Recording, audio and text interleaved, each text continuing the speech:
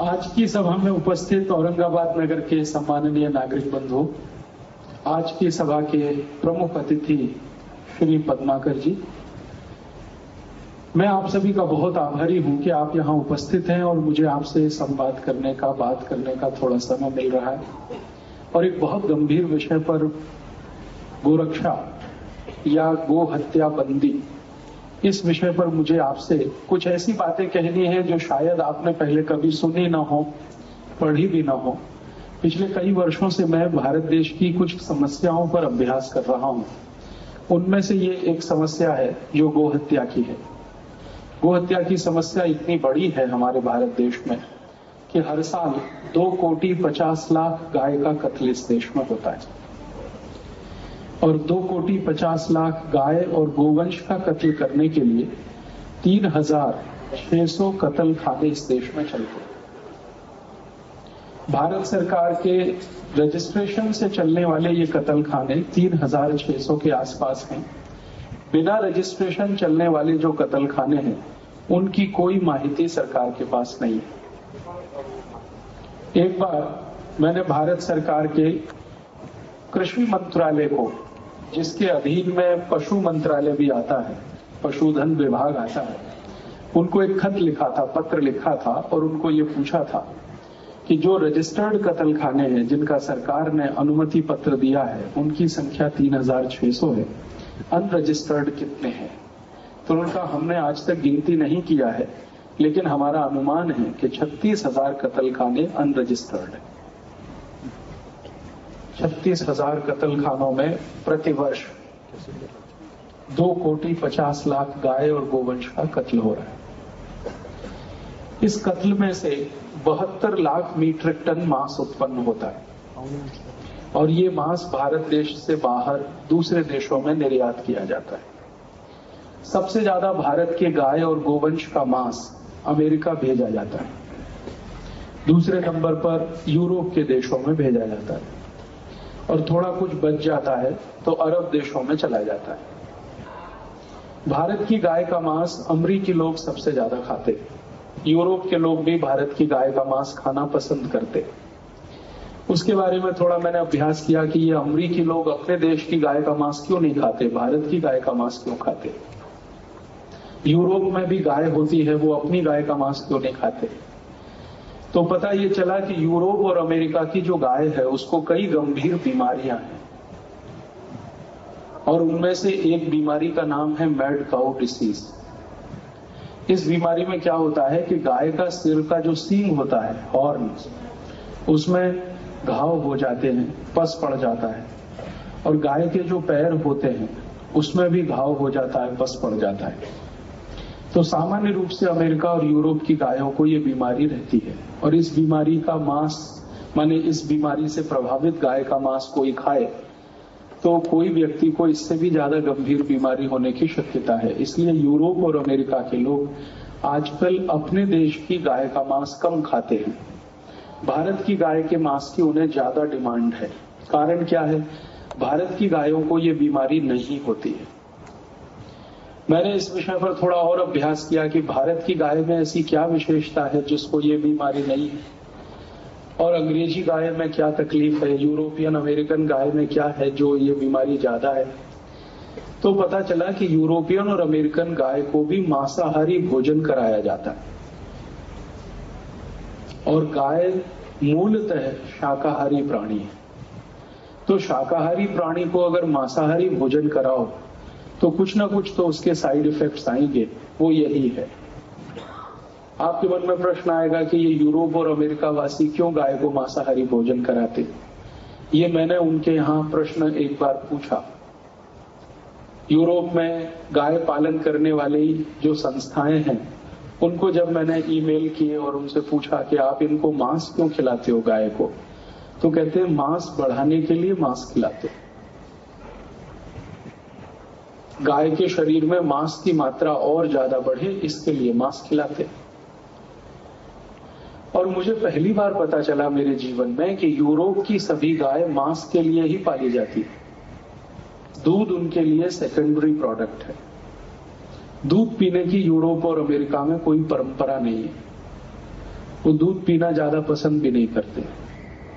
लेकिन मांस खाना पसंद करते हैं तो गाय को वहाँ मांस के लिए पाला जाता है। और इसीलिए गाय को पिछले पचास साल में इतना मोटा बना दिया है उन्होंने कि वो अभी भैंस से भी ज़्यादा बदतर हो गई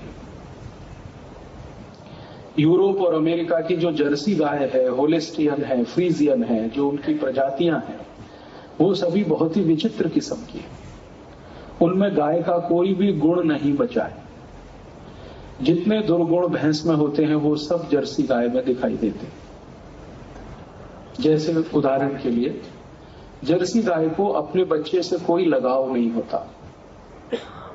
और जर्सी गाय अपने बच्चे को कभी पहचानती भी नहीं कई बार ऐसा होता है कि जर्सी गाय का बच्चा किसी दूसरी जर्सी गाय के साथ चला जाए तो उसको कोई तकलीफ़ नहीं लेकिन भारत की जो देशी गाय है ना, वो अपने बच्चे से इतना लगाव रखती है, इतना प्रेम करती है कि अगर उस बच्चे को किसी ने बुरी आँख से भी देखा तो मार डालने के लिए तैयार हो जाती है। और भारतीय गाय की सबसे बड़ी विशेषता यह है कि लाखों की भीड़ में वो अपने बच्चे को पहचान लेती है। और लाखों की भीड़ में उसका बच्चा अपनी आई को पहचान लेता है।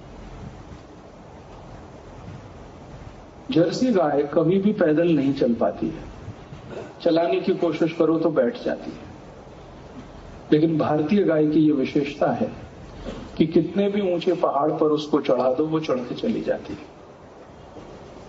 अगर कभी आपको मौका मिले तो हिमालय की परिक्रमा करिए। हिमालय परिवर्तन, पर्वत पर जितनी ऊंचाई तक मनुष्य जा सकता है, उतनी ऊंचाई तक आपको देश की गाय मिलेगी। गंगोत्री जाइए, जमुनोत्री जाइए, बद्रीनाथ जाइए, केदारनाथ जाइए। ये चारों तीर्थों को अगर आप यात्रा करें तो हिमालय की परिक्रमा लगभग हो जाएगी। आपको हर जगह देशी गाय मिलेगी जो 8000 फीट 9000 फीट 10000 फीट की ऊंचाई तक आराम से चली जाती है, कोई तकलीफ़ नहीं। लेकिन जर्सी गाय को 10 फीट भी ऊपर चढ़ाना पड़े तो उसको तकलीफ़ आ जाती है। जर्सी गाय का पूरा का पूरा स्वभाव भैंस के जैसा है। अगर सड़क पर कहीं भैंस खड़ी हो, सामने से ट्रक आता हो, पीछे से बस आती हो, कितना भी हॉर्न बजाए, वो हटती नहीं। क्योंकि हटने के लिए जो आईक्यू चाहिए, वो उसमें नहीं है। ठीक ऐसा ही जर्सी गाय में होता है। जर्सी गाय सड़क पर खड़ी हो, कितना भी हॉर्न बजाओ, वो भी नहीं हटती। सामान्य रूप से ये जो जर्सी गाय है इसके बारे में यूरोप के लोग ऐसा मानते हैं कि इसको विकसित किया गया है डू करके जीन से। सुअर के जीन से विकसित किया गया है। और इसमें जितनी भी जर्सी गाय है, यूरोप और अमेरिका में, आपको सुनकर आश्चर्य होगा कि इनका जो वंश बढ़ाया गया है, वो सब आर्टिफिशियल इंसेमिनेशन से बढ़ाया गया है। सबका। और आप जानते हैं कि आर्टिफिशियल इंसेमिनेशन में ये गुंजाइश है कि आप चाहें तो घोड़े का जीन्स उसमें डाल दें, आप चाहें तो डोकर का डाल दें, सुअर का डाल दें, कुछ और जानवरों का भी डाल सकते हैं। और आर्टिफिशियल इंसेमिनेशन से ही उसको गर्भवती बनाया जाता है। ये उनके यहाँ पिछले 50 साल से चल के आता है। यूरोप और अमेरिका के जो भोजन विशेषज्ञ हैं न्यूट्रिशनल एक्सपर्ट्स जिनको माना जाता है वो सभी कहते हैं कि अपनी गाय, माने यूरोप और अमेरिका की जर्सी गाय का भोजन अगर करें तो 15 से 20 साल में कैंसर होने की शक्यता, डायबिटीज़ तो सबसे जल्दी होता है, arthritis rheumatoid arthritis osteo arthritis asthma bronchial asthma, ऐसे 48 रोग होने की सबसे ज़्यादा संभावना है। यूरोप और अमेरिका की गाय का मांस खाओ तो। तो अब वहाँ पर एक अभियान चल रहा है। यूरोप और अमेरिका में, वो अभियान यही है कि उनके देश में जो गाय है, उसका मांस कम से कम उपयोग करो। और भारत जैसे देश में जो सुरक्षित गाय है, इसका मांस ज़्यादा से ज़्यादा खरीदो। तो भारत सरकार के साथ यूरोपियन कमीशन ने और अमेरिका ने एग्रीमेंट साइन किया हुआ है। उस एग्रीमेंट के साथ हर साल हमारी सरकार बहत्तर लाख मीट्रिक टन मांस यहाँ से गाय और गोवंश का भेजती है। और उसके लिए ढाई करोड़ गाय को हर साल इस देश में कट जाना पड़ता है। ये जो समस्या है हमारे देश में गो हत्या की। ये आज़ादी के बाद पैदा हुई है, ऐसा नहीं है। ये आज़ादी के पूर्व की समस्या है। आज़ादी जब हमें मिली 15 अगस्त उन्नीस को तो महात्मा गांधी जीवित थे। और महात्मा गांधी के सामने अंग्रेज़ों की सरकार ने एक प्रस्ताव लाया था। वो प्रस्ताव ये था गांधी जी को पूछा गया था। माउंट बेटन ने उनको एक चिट्ठी भेजी थी। और ये कहा था कि, बापू, आप बार बार कहते हो कि गो हत्या बंद होनी चाहिए गोरक्षा होनी चाहिए। और अंग्रेज़ों की सरकार बड़े पैमाने पर गाय का कत्ल करती थी। तो गांधी जी ने बार बार कहा कि ये गाय का कत्ल बंद होना चाहिए गोरक्षा होनी चाहिए। तो माउंट बेटन ने गांधी जी को पत्र लिखा और कहा कि, अगर आप बोलो आज़ादी और गोरक्षा में से क्या चाहिए आपको? आज़ादी चाहिए या गोरक्षा चाहिए? दोनों में से कोई एक चुनाव आप करो। तो गांधी जी ने पत्र का उत्तर दिया कि देखो, अगर अंग्रेज़ों की यही कोई शर्त है कि आज़ादी और गोरक्षा में से कोई एक चीज़ चाहिए तो मैं गोरक्षा पसंद करूँगा और गाय की रक्षा हो गई तो आज़ादी तो फिर आपसे मैं ले ही लूँगा। उसके लिए आपकी दया नहीं चाहिए। बस आपकी दया गाय पर चाहिए कि आप गाय का कत्ल बंद कर दो। जिस समय ये घटना घटित हुई, उसी समय गांधी जी के बारे में, अंग्रेज़ों के एक अखबार में एक लंबा आर्टिकल छपा। गांधी जी ने उसका जवाब दिया। और गांधी जी ने कहा कि मैं भारत में चाहता हूँ कि एक भी गाय का कत्ल नहीं होना चाहिए। और अंग्रेज़ों की सरकार ने साढ़े तीन सौ कतल खाने खोले हुए हैं। और हर दिन इनमें पचास हज़ार से ज़्यादा गाय कटती है। और ये सारी की सारी गाय का मांस अंग्रेज़ों की पुलिस और अंग्रेज़ों की सेना खाती है। जो बच जाता है, उसे इंग्लैंड भेज दिया जाता है। मेरे देश में अगर गाय की हत्या होती है तो मैं मानता हूँ कि वो सबसे जघन्य अपराध है जो हो रहा है। उस पत्र में गांधी जी ने बहुत लंबी लंबी कई बातें लिखी। उन्होंने कहा कि भारत में गाय अर्थव्यवस्था का केंद्र है और संस्कृति का आधार है। बिना गाय के भारत की संस्कृति की कल्पना नहीं हो सकती और बिना गाय के भारत की अर्थव्यवस्था नहीं चल सकती। भारत की अर्थव्यवस्था कृषि प्रधान है और गाय कृषि का मूल आधार है। इसलिए मैं चाहता हूँ कि गाय की हत्या तत्काल बंद होनी चाहिए। और अगर अंग्रेज़ों की सरकार मुझे ये ऑप्शन दे रही है कि आज़ादी और गो रक्षा, इन दोनों में से कोई चीज़ आप चुन लो तो मैं गोरक्षा पसंद करूँगा। और एक बार भारत की गाय बच जाए तो आगे तो आज़ादी हम ले लेंगे। बाद में गांधी जी ने लिखा कि अगर अंग्रेज़ चले जाएँ भारत छोड़कर, और भारत की सरकार भारत में आ जाए तो सबसे पहला कानून भारत में गोरक्षा का ही बनेगा। ये मैं भारतवासियों को वायदा करता अब गांधी जी का ये पत्र अखबारों में छपा, भारत के अखबारों में भी बहुत जोरदार छपा। और ये जो पत्र छपा गांधी जी का भारत के अखबारों में, खासकर हिंदुस्तान टाइम्स ने फ्रंट पेज पर इसको छापा। ये सब घटना 1946 के आसपास की है। दिसंबर के महीने की। तो गांधी जी को बहुत सारे लोगों ने पूछना शुरू किया, खासकर अंग्रेज़ों ने, कि आप गाय के लिए इतने क्यों परेशान हैं? तो गांधी जी ने सबसे इमोशनल स्टेटमेंट किया। शायद उनके जीवन का इससे ज़्यादा इमोशनल स्टेटमेंट नहीं था। उन्होंने कहा, अंग्रेज़ चाहे तो मेरी हत्या कर दे, लेकिन गाय को छोड़ दे। अगर अंग्रेज़ों को ऐसा लगता है कि गांधी की हत्या करके उनके मन को संतोष होता है तो वो बेशक मेरी हत्या करें, लेकिन गाय को छोड़ दें। क्योंकि ये गाय हमारी संस्कृति का आधार है, अर्थव्यवस्था का आधार है। गांधी जी ने जब ये कहा कि भारत में आज़ादी आएगी और सरकार बनेगी तो सबसे पहला कानून गो हत्या बंदी का ही होगा। गांधी जी चले गए।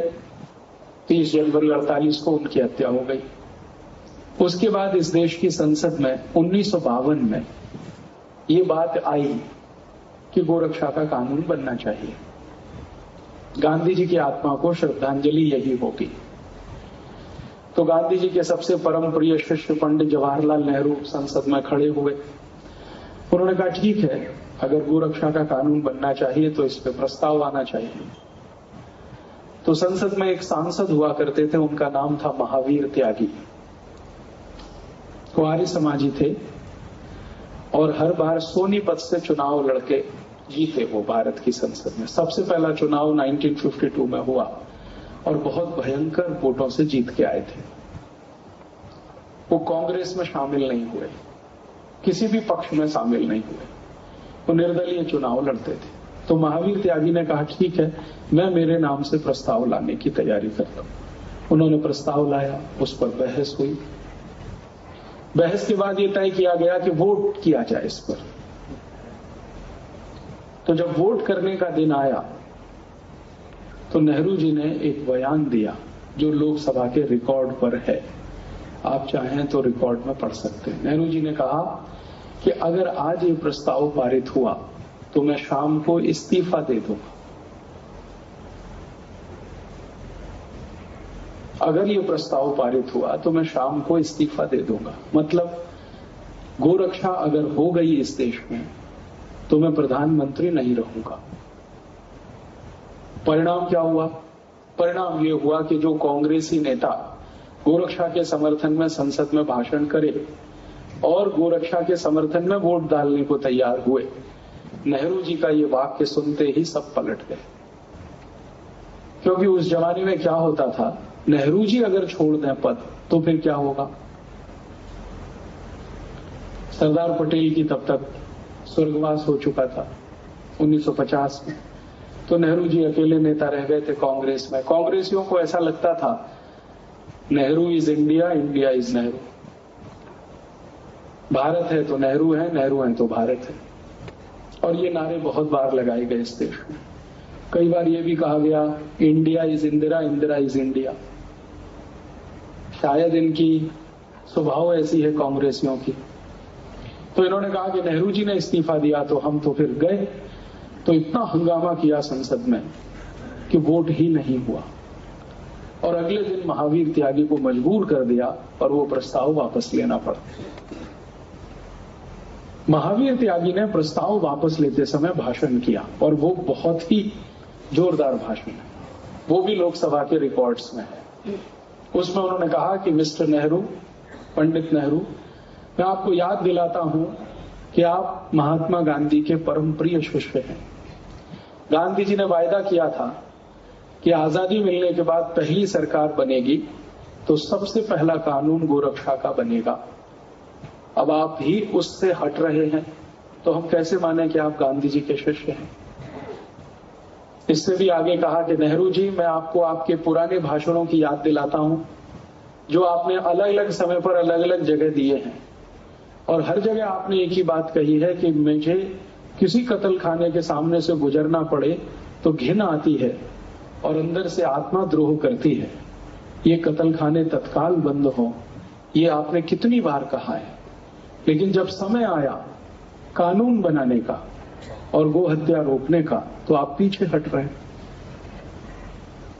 नेहरू जी ने उनके इन सब बातों का कोई उत्तर नहीं दिया। उसके बाद क्या हुआ? बात आई गई, हो गई। प्रस्ताव पारित नहीं हुआ। थोड़े दिन के बाद सन 1956 में नेहरू जी ने एक चिट्ठी लिखी सभी मुख्यमंत्रियों को, भारत के मुख्यमंत्रियों को। और उसका पहला पैराग्राफ मैं आपको पढ़ते सुनाता हूँ। अंग्रेज़ी में लिखी, लेकिन मैं हिंदी में बताता हूँ। वो लिख रहे हैं मुख्यमंत्रियों को कि देखिए, अगर हमने गाय का कत्ल बंद करा दिया तो भारत में आने वाली विदेशी मुद्रा बहुत कम हो जाएगी। और गाय ही एक ऐसी जीव है जो इस समय हमको सबसे ज़्यादा विदेशी मुद्रा दे रही है। और गाय का कत्ल करके जो मांस है, वो बहुत महँगा हम बेचते हैं। और इस गाय के शरीर से निकला हुआ जो चमड़ा है, ये भी बहुत बड़े पैमाने पर हम निर्यात करते हैं। और गाय को कत्ल करके जो चमड़ा उतारा जाता है, वो बहुत ही सॉफ्ट होता है। और यूरोप और अमेरिका के नागरिकों को सॉफ्ट जूते और चप्पल पहनने की आदत है। तो हम क्यों इसको निर्यात बंद करें? मैं आप सभी को अपील करता हूँ कि आप अपने अपने राज्यों में गाय का कत्ल बढ़ाने के लिए अगर कुछ कर सकें तो ज़रूर करें। ये नेहरू जी की चिट्ठी है और ये भी रिकॉर्ड में है। अब नेहरू जी का कौन सा स्वरूप सही था और कौन सा गलत, ये अभी फैसला करने का समय मैं मानता हूँ कि आ गया है। जब वो गांधी जी के साथ मंच पे खड़े होकर भाषण करते हैं तो कहते हैं, मैं कतल खाने के सामने से गुजरता हूँ तो आत्मा चीतकार करती है और मैं चाहता हूँ कि सारे कतल खाने बंद हो। और जब वो प्रधानमंत्री बनते हैं तो मुख्यमंत्रियों को चिट्ठी लिख रहे हैं कि गाय का कत्ल बंद मत करो, क्योंकि इससे विदेशी मुद्रा मिलती है। उस पत्र का सबसे अंतिम वाक्य बहुत खतरनाक है। उसमें नेहरू जी लिख रहे हैं कि मान लो हमने गाय की हत्या बंद करा दी और गोरक्षा होने लगी तो सारी दुनिया हम पर हंसेगी कि हम भारत को 18वीं शताब्दी में लेके जा रहे हैं। अर्थात नेहरू जी को यह लगता था कि गाय का कत्ल होने से देश 21वीं शताब्दी की ओर जाएगा और गोरक्षा होने से 18वीं शताब्दी में चला जाएगा। ये पत्र पढ़कर मैं बहुत विचलित हुआ। हमारे एक बहुत अच्छे मित्र हैं, उनका नाम है रवि राय, लोकसभा के अध्यक्ष रह चुके हैं। उनकी मदद से यह पत्र मुझे मिला, पार्लियामेंट की लाइब्रेरी से। अब मैं तो कोई एमपी नहीं हूँ। पार्लियामेंट में जा नहीं सकता लाइब्रेरी में भी नहीं जा सकता। लेकिन एक दिन रवि राय जी को मैंने कहा कि आप निकलवा दीजिए, मुझे जरा पढ़ना है ये। इसकी फ़ोटो कॉपी भी रखनी है, कभी भविष्य में काम आए। और वो फ़ाइल भी देखनी है जिसपे नेहरू जी का नोट है। तो उन्होंने बेचारे ने बड़ी मदद की और ये सब निकलवा दिया। ये पढ़ के मैं बहुत परेशान हूँ। और मैंने ये जानने की कोशिश की कि आखिर नेहरू जी के जीवन में वो कौन सी बात थी? जिसके कारण वो गोहत्या को चालू रखना चाहते थे। पत्र में वो लिख रहा है कि इससे विदेशी मुद्रा मिलती है तो क्या सिर्फ़ विदेशी मुद्रा ही एक बड़ा प्रश्न था या इसके पीछे भी कुछ और था? मेरा एक व्यक्तिगत मानना है, वो गलत भी हो सकता है, कि व्यक्ति अपने सार्वजनिक जीवन में जो कुछ भी करता है, उसकी जड़ उसके निजी जीवन में ज़रूर होती है। वो भारत का प्रधानमंत्री हो, राष्ट्रपति हो, देश के किसी संवैधानिक पद पर बैठा हुआ हो, या कोई संत हो, महंत हो, साधु हो प्रोफेसर हो इंजीनियर हो डॉक्टर हो, या साधारण किसान हो, मजदूर हो, कोई भी व्यक्ति हो, अगर वो सार्वजनिक जीवन में कुछ कर रहा है तो उसकी जड़ें उसके निजी जीवन में ज़रूर होती हैं। पब्लिक लाइफ में व्यक्ति जिस तरह से व्यवहार करता है, उसका रिफ्लेक्शन उसके प्राइवेट लाइफ से निकलता है। माने नेहरू जी की प्राइवेट लाइफ में क्या था जो गाय की हत्या के लिए वो इतने परेशान? और इसके लिए मैंने बहुत प्रयास किया। उनके निजी जीवन के बारे में, प्राइवेट लाइफ के बारे में बहुत दस्तावेज़ मैंने इकट्ठे किए। कम से कम 500 से ज़्यादा अभी मेरे पास है। तो पता चला कि नेहरू जी स्वयं गाय का मांस खाते थे। इसके पहले मुझे इतना तो मालूम था कि नेहरू जी शराब पीते और ये भी मालूम था कि चेन स्मोकर हैं। दिन में 60 से 70 सिगरेट पीते और भी बहुत कुछ मालूम था उनके चरित्र के बारे में, लेकिन ये पहली बार पता चला कि वो गाय का मांस भी खाते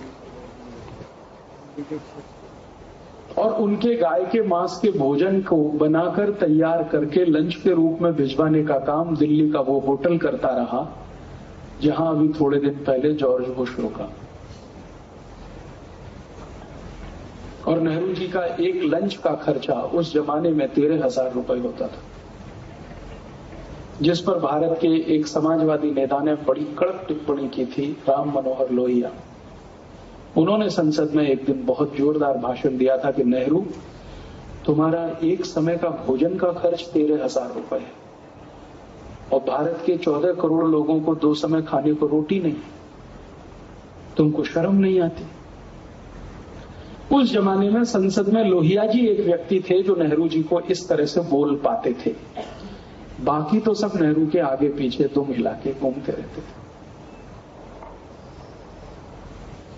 तो जब ये दस्तावेज़ मिल गए तो मैं समझ गया कि नेहरू जी के मन में गाय के प्रति जो प्रेम था, वो दिखावे का था, गांधी जी को प्रभावित करने के लिए था और भारत का प्रधानमंत्री बनने के लिए था। एक बार प्रधानमंत्री बन गए, अब तो कोई कष्ट नहीं है, कोई रोकने वाला नहीं, कोई टोकने वाला नहीं, और सरदार पटेल की मृत्यु के बाद तो कोई नहीं उनके सामने चुनौती देने वाला। तो उनका असली रूप पूरे देश के सामने आया। और ये जितनी बातें मैंने आपसे कही हैं, ये सब भारत की लोकसभा के रिकॉर्ड्स पर मौजूद हैं। कभी इतिहास लिखा जाए तो ये सब उसमें आ जाए। तो हम समझ सकते हैं कि नेहरू जी से कोई अपेक्षा नहीं कि वो गाय की रक्षा करने के लिए कुछ करें। फिर मैंने सोचा नेहरू जी के बाद वालों को क्या हुआ? उनका तो समझ में आ गया, चलो ठीक है। बाद में इतने प्रधानमंत्री आए, उनका क्या हुआ? उन्होंने क्यों नहीं कानून बनाया गोरक्षा का? क्योंकि गोरक्षा का कानून बनाने की बात उन्नीस सौ सैंतालीस से चल रही है। जिस दिन आज़ादी मिली, उस दिन से चल रही है। और अब सन 2006 आ चुका है। लगभग 60 वर्ष पूरे होने जा रहे हैं। तो बाद के प्रधानमंत्रियों ने क्या किया? तो वो रिकॉर्ड्स देखना शुरू किया तो पता चला कि एक बार श्री लाल बहादुर शास्त्री ने और एक बार श्री मुरारजी देसाई ने पूरी ईमानदारी से कोशिश की थी, लेकिन उसमें कामयाब नहीं हो पाए। मुरारजी भाई ने जब ये कानून बनाने का तय किया, तब तक देर हो गया और उनकी सरकार गिर गई। या मैं सोचूं दूसरे तरीके से कि उनकी सरकार गिरा दी गई। क्योंकि उनकी सरकार को गिराने के पीछे जो तर्क था, वो हमारे गले आज तक नहीं उतरता। गंभीर कारण कुछ और था। और उसमें से एक गंभीर कारण है जो बिल्कुल स्पष्ट दिखता है। मुरारजी देसाई की सरकार ने एक बहुत क्रांतिकारी काम किया था। अमेरिका की सबसे ताकतवर कंपनी कोका कोला को हिंदुस्तान से भगा दिया था। और वो भी इतने अपमानजनक तरीके से भगाया था कोका कोला को, नोटिस दे दिया कोका कोला को। मुरारजी देसाई के मंत्रिमंडल में उद्योग मंत्री हुआ करते थे, जॉर्ज फर्नांडिस उन्होंने नोटिस दे दिया कि देखो, तीन दिन में भारत छोड़ दो, नहीं तो आपकी सारी संपत्ति को हम राष्ट्रीय संपत्ति घोषित कर देंगे। और ये सिर्फ़ कोका कोला के लिए ही नहीं था। हॉलैंड की एक बहुत बड़ी कंपनी इस देश में है, जिसका नाम है यूनिलीवर जिसने नाम बदल के अभी धंधा शुरू किया है, हिंदुस्तान लीवर इसको भी नोटिस था कि आप अगर अपनी शेयर इक्विटी कम नहीं करते तो आपका भी धंधा बंद कराएँगे। और अंत में वो नोटिस सभी विदेशी कंपनियों को था, जिनको ये कहा गया था कि आप भारत में अपनी पूंजी को कम कर दीजिए नहीं तो आप सबको हम भारत से भगाएँगे ये एक बड़ा कारण था मुरारजी भाई की सरकार गिराने में। और दूसरा कारण था, मुरारजी भाई ने एक घोषणा की थी कि जैसे गुजरात को शराब मुक्त बना दिया, वैसे पूरे देश को बना देंगे। और आप जानते हैं कि गुजरात आज तक शराब मुक्त प्रदेश है। यह अलग बात है कि चोरी छुपे वहाँ मिल जाती है, लेकिन कानूनन रूप से गुजरात में न शराब बिक सकती है, न कोई पी सकता है, न कोई बना सकता है। ये मुरारजी देसाई का चमत्कार है, आज तक है।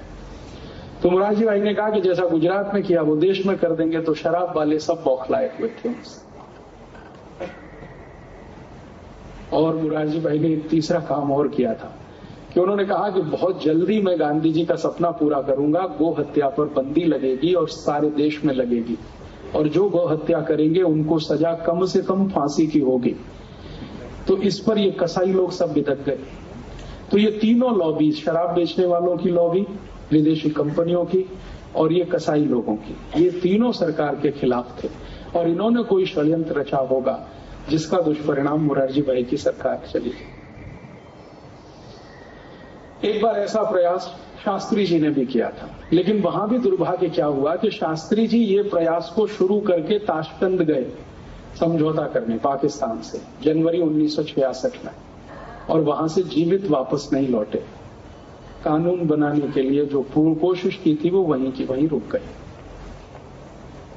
उसके बाद इस देश में आखिरी कोई प्रधानमंत्री था जिसने गोरक्षा का कानून बनाने का प्रयास किया, वो थे श्री अटल बिहारी वाजपेयी। जिन्होंने सवेरे सवेरे लोकसभा में एक विधेयक लाया और शाम को उसे वापस ले लिया। क्यों? तो मुरारजी देसाई सॉरी श्री अटल बिहारी वाजपेयी की सरकार को समर्थन देने वाली दो बड़ी राजनीतिक पार्टियाँ, एक का नाम तेलुगु देशम और दूसरी तृणमूल कांग्रेस। दोनों ने लोकसभा में कहा कि अगर ये विधेयक आएगा और बहस होगी तो हम अभी सरकार से समर्थन वापस लेते हैं और सरकार गिराते हैं। ममता बनर्जी ने जब ये बयान दिया लोकसभा में तो बाहर आते ही उनको पत्रकारों ने पूछा कि आप ऐसा क्यों बोल रही हैं? गाय की हत्या बंद हो जाने दीजिए, बहुत समय से ये चल रहा है मामला। तो ममता बनर्जी ने ज़ोर से कहा कि गाय का मांस खाना मेरा मौलिक अधिकार है, कोई कैसे रोक सकता है? किसी पत्रकार ने याद दिलाया कि आप तो ब्राह्मण हैं, पंडित हैं, बंगाली। और आप ऐसा बोलती? उसने कहा सो वॉट और दूसरी तरफ़ ये जो तृणमूल कांग्रेस जैसी ही एक पार्टी है, तेलुगु देशम, उसका जो मुख्य चंद्रबाबू नायडू, उसने हैदराबाद में बयान दिया कि अगर सरकार ने गोहत्या का विधेयक पारित कराया तो कल समर्थन हम वापस लेते। तो श्री अटल बिहारी वाजपेयी अपनी सरकार बचाने के चक्कर में वो बिल जो सवेरे लाया, वो शाम को बिना बहस के वापस ले लिया। सरकार बचाना उस समय उनके लिए मुख्य था। गो हत्या रुकवाना मुख्य नहीं बना। मैंने अटल जी को उस समय चिट्ठी लिखी थी कि काश आपने सरकार गिर जाने दी होती इस मुद्दे पर। तो गारंटी की बात थी कि अगली बार आप टू थर्ड मेजोरिटी से इस देश में चुनकर आते।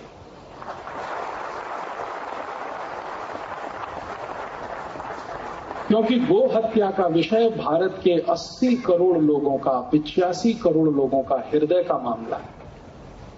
हृदय से जुड़ा हुआ विषय। लेकिन वो इतनी दूरदर्शिता नहीं दिखा पाए और वो सरकार भी गई और गो हत्या तो खैर आज तक हो ही रही है। तो ये आज़ादी के बाद की कहानी है। इतनी बार कोशिश हुई, लेकिन संसद में आज तक कानून नहीं बना। कारण क्या है इसके पीछे? इस पर आजकल मैं थोड़ा खोज कर रहा हूँ। क्यों संसद में कानून नहीं बनता है? क्यों कुछ सांसद खड़े होकर चिल्लाने लगते हैं जब भी ये विषय आता है? बहस के लिए। हमारे भारत में राजनीतिक दलों में ऐसे कई नेता हैं, ये बात कहने के लिए आप मुझे माफ़ करेंगे। हमारे राजनीतिक दलों में ऐसे कई नेता हैं जो गाय का मांस बेचकर अपना धंधा चला रहे हैं। कई नेता हैं ऐसे।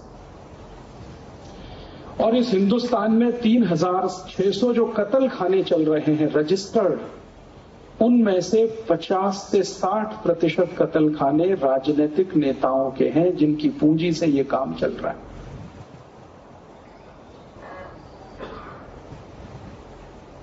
तो जब भी गोहत्या का विषय आता है संसद में, चिल्ला के खड़े हो जाते कहते हैं गोहत्या रुकनी नहीं चाहिए। और उसके विचित्र विचित्र तर्क देते हैं, कुतर्क करते हैं। जैसे कुतर्क करते हैं, महाराष्ट्र के भी कई नेता हैं। वो बहुत कुतर्क करते हैं। उनमें से एक नेता तो वर्तमान में कृषि मंत्री है। उन्होंने एक बार कुतर्क किया कि गाय की हत्या अगर हमने रोक दी तो गाय की संख्या इतनी बढ़ जाएगी, उनको रखेंगे कहाँ? ये बयान श्री शरद पवार ने दिया और मुंबई में दिया, प्रेस कॉन्फ्रेंस में सौभाग्य की बात थी कि वो दिन मैं मुंबई में था, जिस दिन उनका ये प्रेस कॉन्फ्रेंस में स्टेटमेंट आया। अगले दिन वो बयान की कॉपी लेके मैं चला गया, मिलने उनसे। मैंने कहा कि आपने ये कहा है कि अगर गाय को हमने बचा लिया तो इनकी संख्या इतनी बढ़ जाएगी, इनको रखेंगे कहा? आप क्यों परेशान है? आपके घर में रखने नहीं आ रहे हम। इतना तो पक्का है। और अगर आपकी बुद्धि इतना ही काम करती है कि गाय को बचाने से उसकी संख्या बढ़ जाएगी तो यही तर्क मनुष्यों पर भी लागू हो जाता है। सीधे सीधे से लागू होता है कि मनुष्यों को क्यों बचाया जाए? इनकी संख्या बढ़ जाएगी। तो इसका माने मनुष्यों की संख्या कम करने के लिए कत्ल करवाइए इनका। तो उन्होंने दूसरी बात कही, चारा कहाँ से लाएँगे? चारा कहाँ से लाएँगे? तो मैंने कहा, भगवान ने इस देश में व्यवस्था ऐसी की है, आप क्यों परेशान है उसके लिए? भगवान की व्यवस्था में आप क्यों दखलंदाजी कर रहे हैं? भगवान ने इस देश में जितनी भी फ़सल दी है, जितनी भी फ़सलों के बीज हमारे पास हैं 1400 किस्म की फ़सलें भारत में होती हैं। पीक, गेहूँ, चावल, जवारी, तुअर, उड़ेद, मूंग आदि आदि। हर एक फ़सल के तीन हिस्से हैं, हर एक पीक के तीन हिस्से हैं, हर एक पौधे के तीन हिस्से हैं। ऊपर का एक हिस्सा है, वो मनुष्यों के लिए है, पक्षियों के लिए है। बीच का हिस्सा है, वो सब पशुओं के लिए है।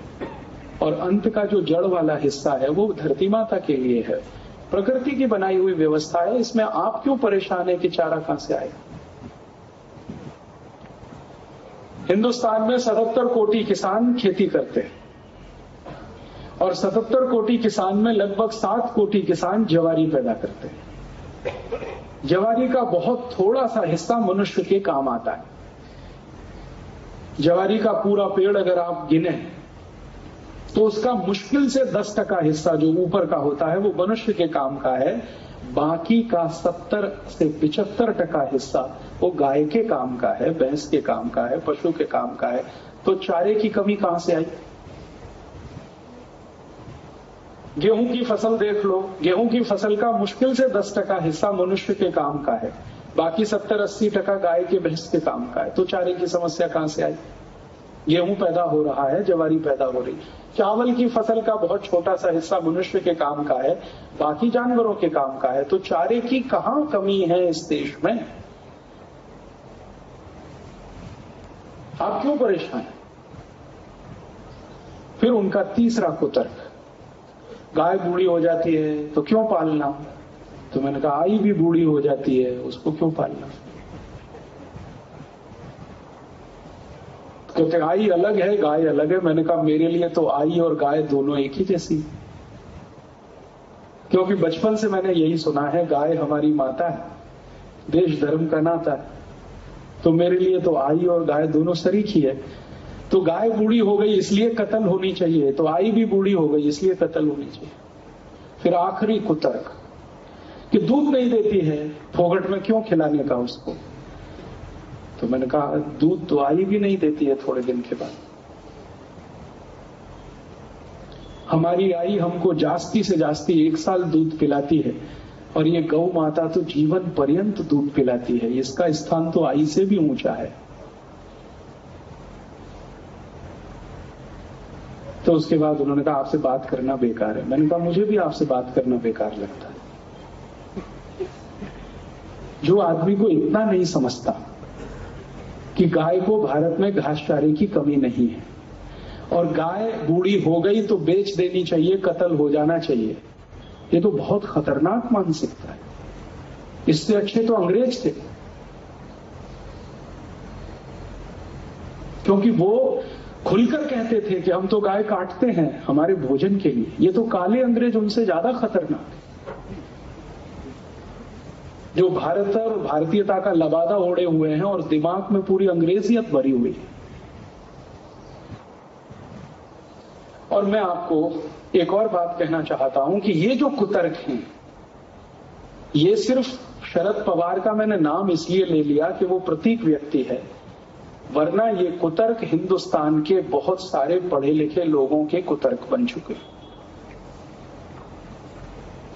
और खासकर ऐसे पढ़े लिखे लोग जिनको थोड़ी अंग्रेजियत की शिक्षा मिली है, कॉन्वेंट में पढ़े हैं, इंजीनियर, डॉक्टर बने हैं, उनके भी ये कुतर्क बन चुके हैं। शरद पवार तो प्रतीक मात्र वहाँ कोई और भी हो सकता है जो इसी तरह की बात करे। ये कुतर्क आए कहाँ से? किसने डाले हैं हमारे देश के पढ़े लिखे लोगों के दिमाग में?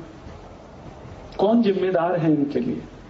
ये भी मैं समझने की कोशिश कर रहा हूँ। तो पता चला कि ये कुतर्क भारत से नहीं, पश्चिम से आ रहे हैं, वेस्ट से आ रहे हैं। उनके फ्रेज हैं, उनके ईडियम्स हैं जिनको हम इस्तेमाल कर रहे हैं। और इन्हीं कुतर्कों के आधार पर भारत में सरकार चलाने वाले लोग और सरकार चलाने के लिए मदद करने वाले अधिकारी दोनों मिलकर गाय की हत्या करवाने में लगे हुए और मैं आपको एक बहुत कड़ी बात कह रहा हूँ, वो ये कि भारत का एक मंत्रालय है, जिसका नाम है कृषि मंत्रालय। कृषि मंत्रालय के नीचे काम करने वाला एक मंत्रालय है, पशुधन मंत्रालय।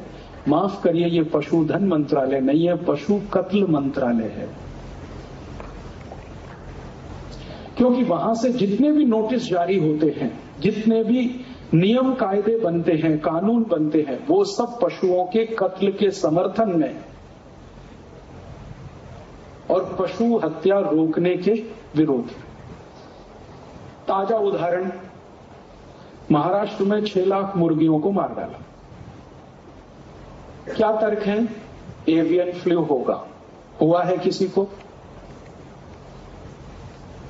लगभग पंद्रह दिन हो गए हैं।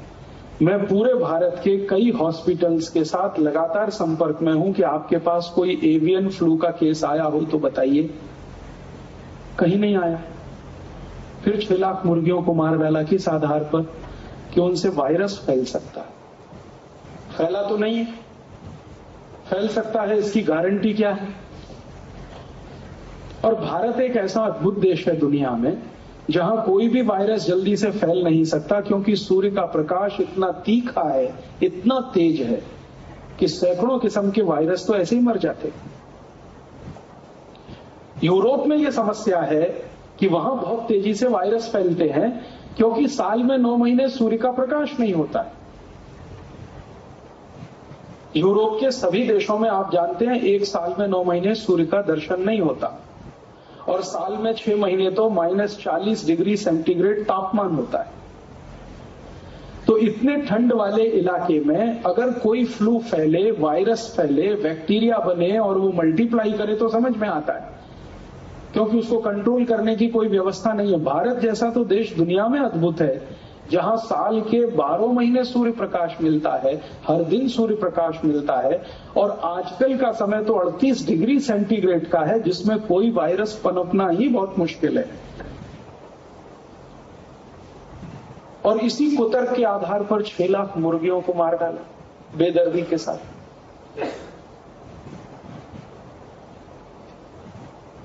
बिना सोचे समझे कि इन मुर्गियों का हमारे जीवन को चलाने में कोई उपयोग होता है। ये उपयोग नहीं कि वो अंडा देती और हम अंडा खाते हैं। उससे ज़्यादा बड़ा उपयोग है, जो हमें आज तक पता नहीं चला है। इस प्रकृति के चक्र को नियमित रखने में मुर्गियों की, मुर्गों की बहुत बड़ी भूमिका है। हमारे शरीर को नुकसान पहुँचाने वाले जो छोटे जीव हैं, जो शरीर के शत्रु हैं उनको खाने का काम ये मुर्गी और मुर्गे करते रहते हैं। चुन चुन के उठा लेते हैं ज़मीन पैसे, ताकि मनुष्य सुरक्षित रहे। तो हम मनुष्यों को सुरक्षा देने के काम में जो मुर्गी और मुर्गे लगे हैं, उन मुर्गे और मुर्गियों को मनुष्य को बचाने के कुतर्क के आधार पर कत्ल करवा दिया सरकार। ऐसे अगर हमारी सरकार को चलाने वाले नेता हैं और ऐसे हमारे देश को चलाने वाले अधिकारी हैं तो भगवान इनको जल्दी से उठाए।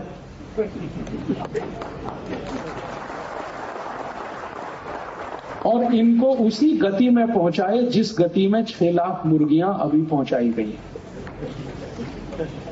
जल्दी से इनको उठाए, क्योंकि इनका बोझ अभी सहा नहीं जाता। ऐसे ऐसे कुतर्क जड़ते हैं और मूर्खता की परीक्षा देते पराकाष्ठा। कभी भी ऐसा कोई एक विचित्र कुतर्क आ जाएगा, कुत्तों को मारेंगे। हाँ कुत्तों को मारेंगे।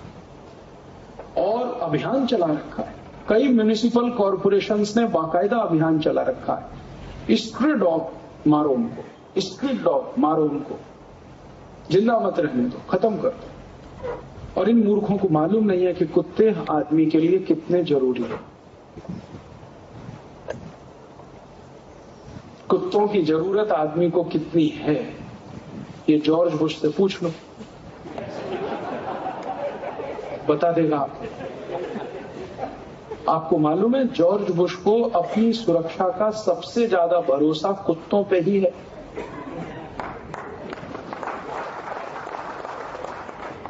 और आपको ये मालूम है कि जॉर्ज बुश दुनिया के किसी भी देश के प्रवास पे जाता है तो उसकी सुरक्षा के छप्पन कुत्ते उसके साथ ज़रूर जाते हैं।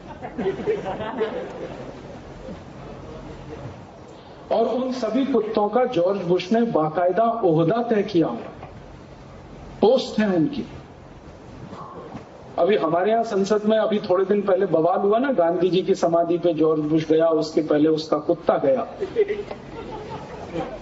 और उस कुत्ते ने पहले गांधी जी की समाधि का चक्कर लगाया, सूंघ सूंघ कर देखा। वो कुत्ता साधारण नहीं है, जॉर्ज बुश का सार्जेंट है। हाँ।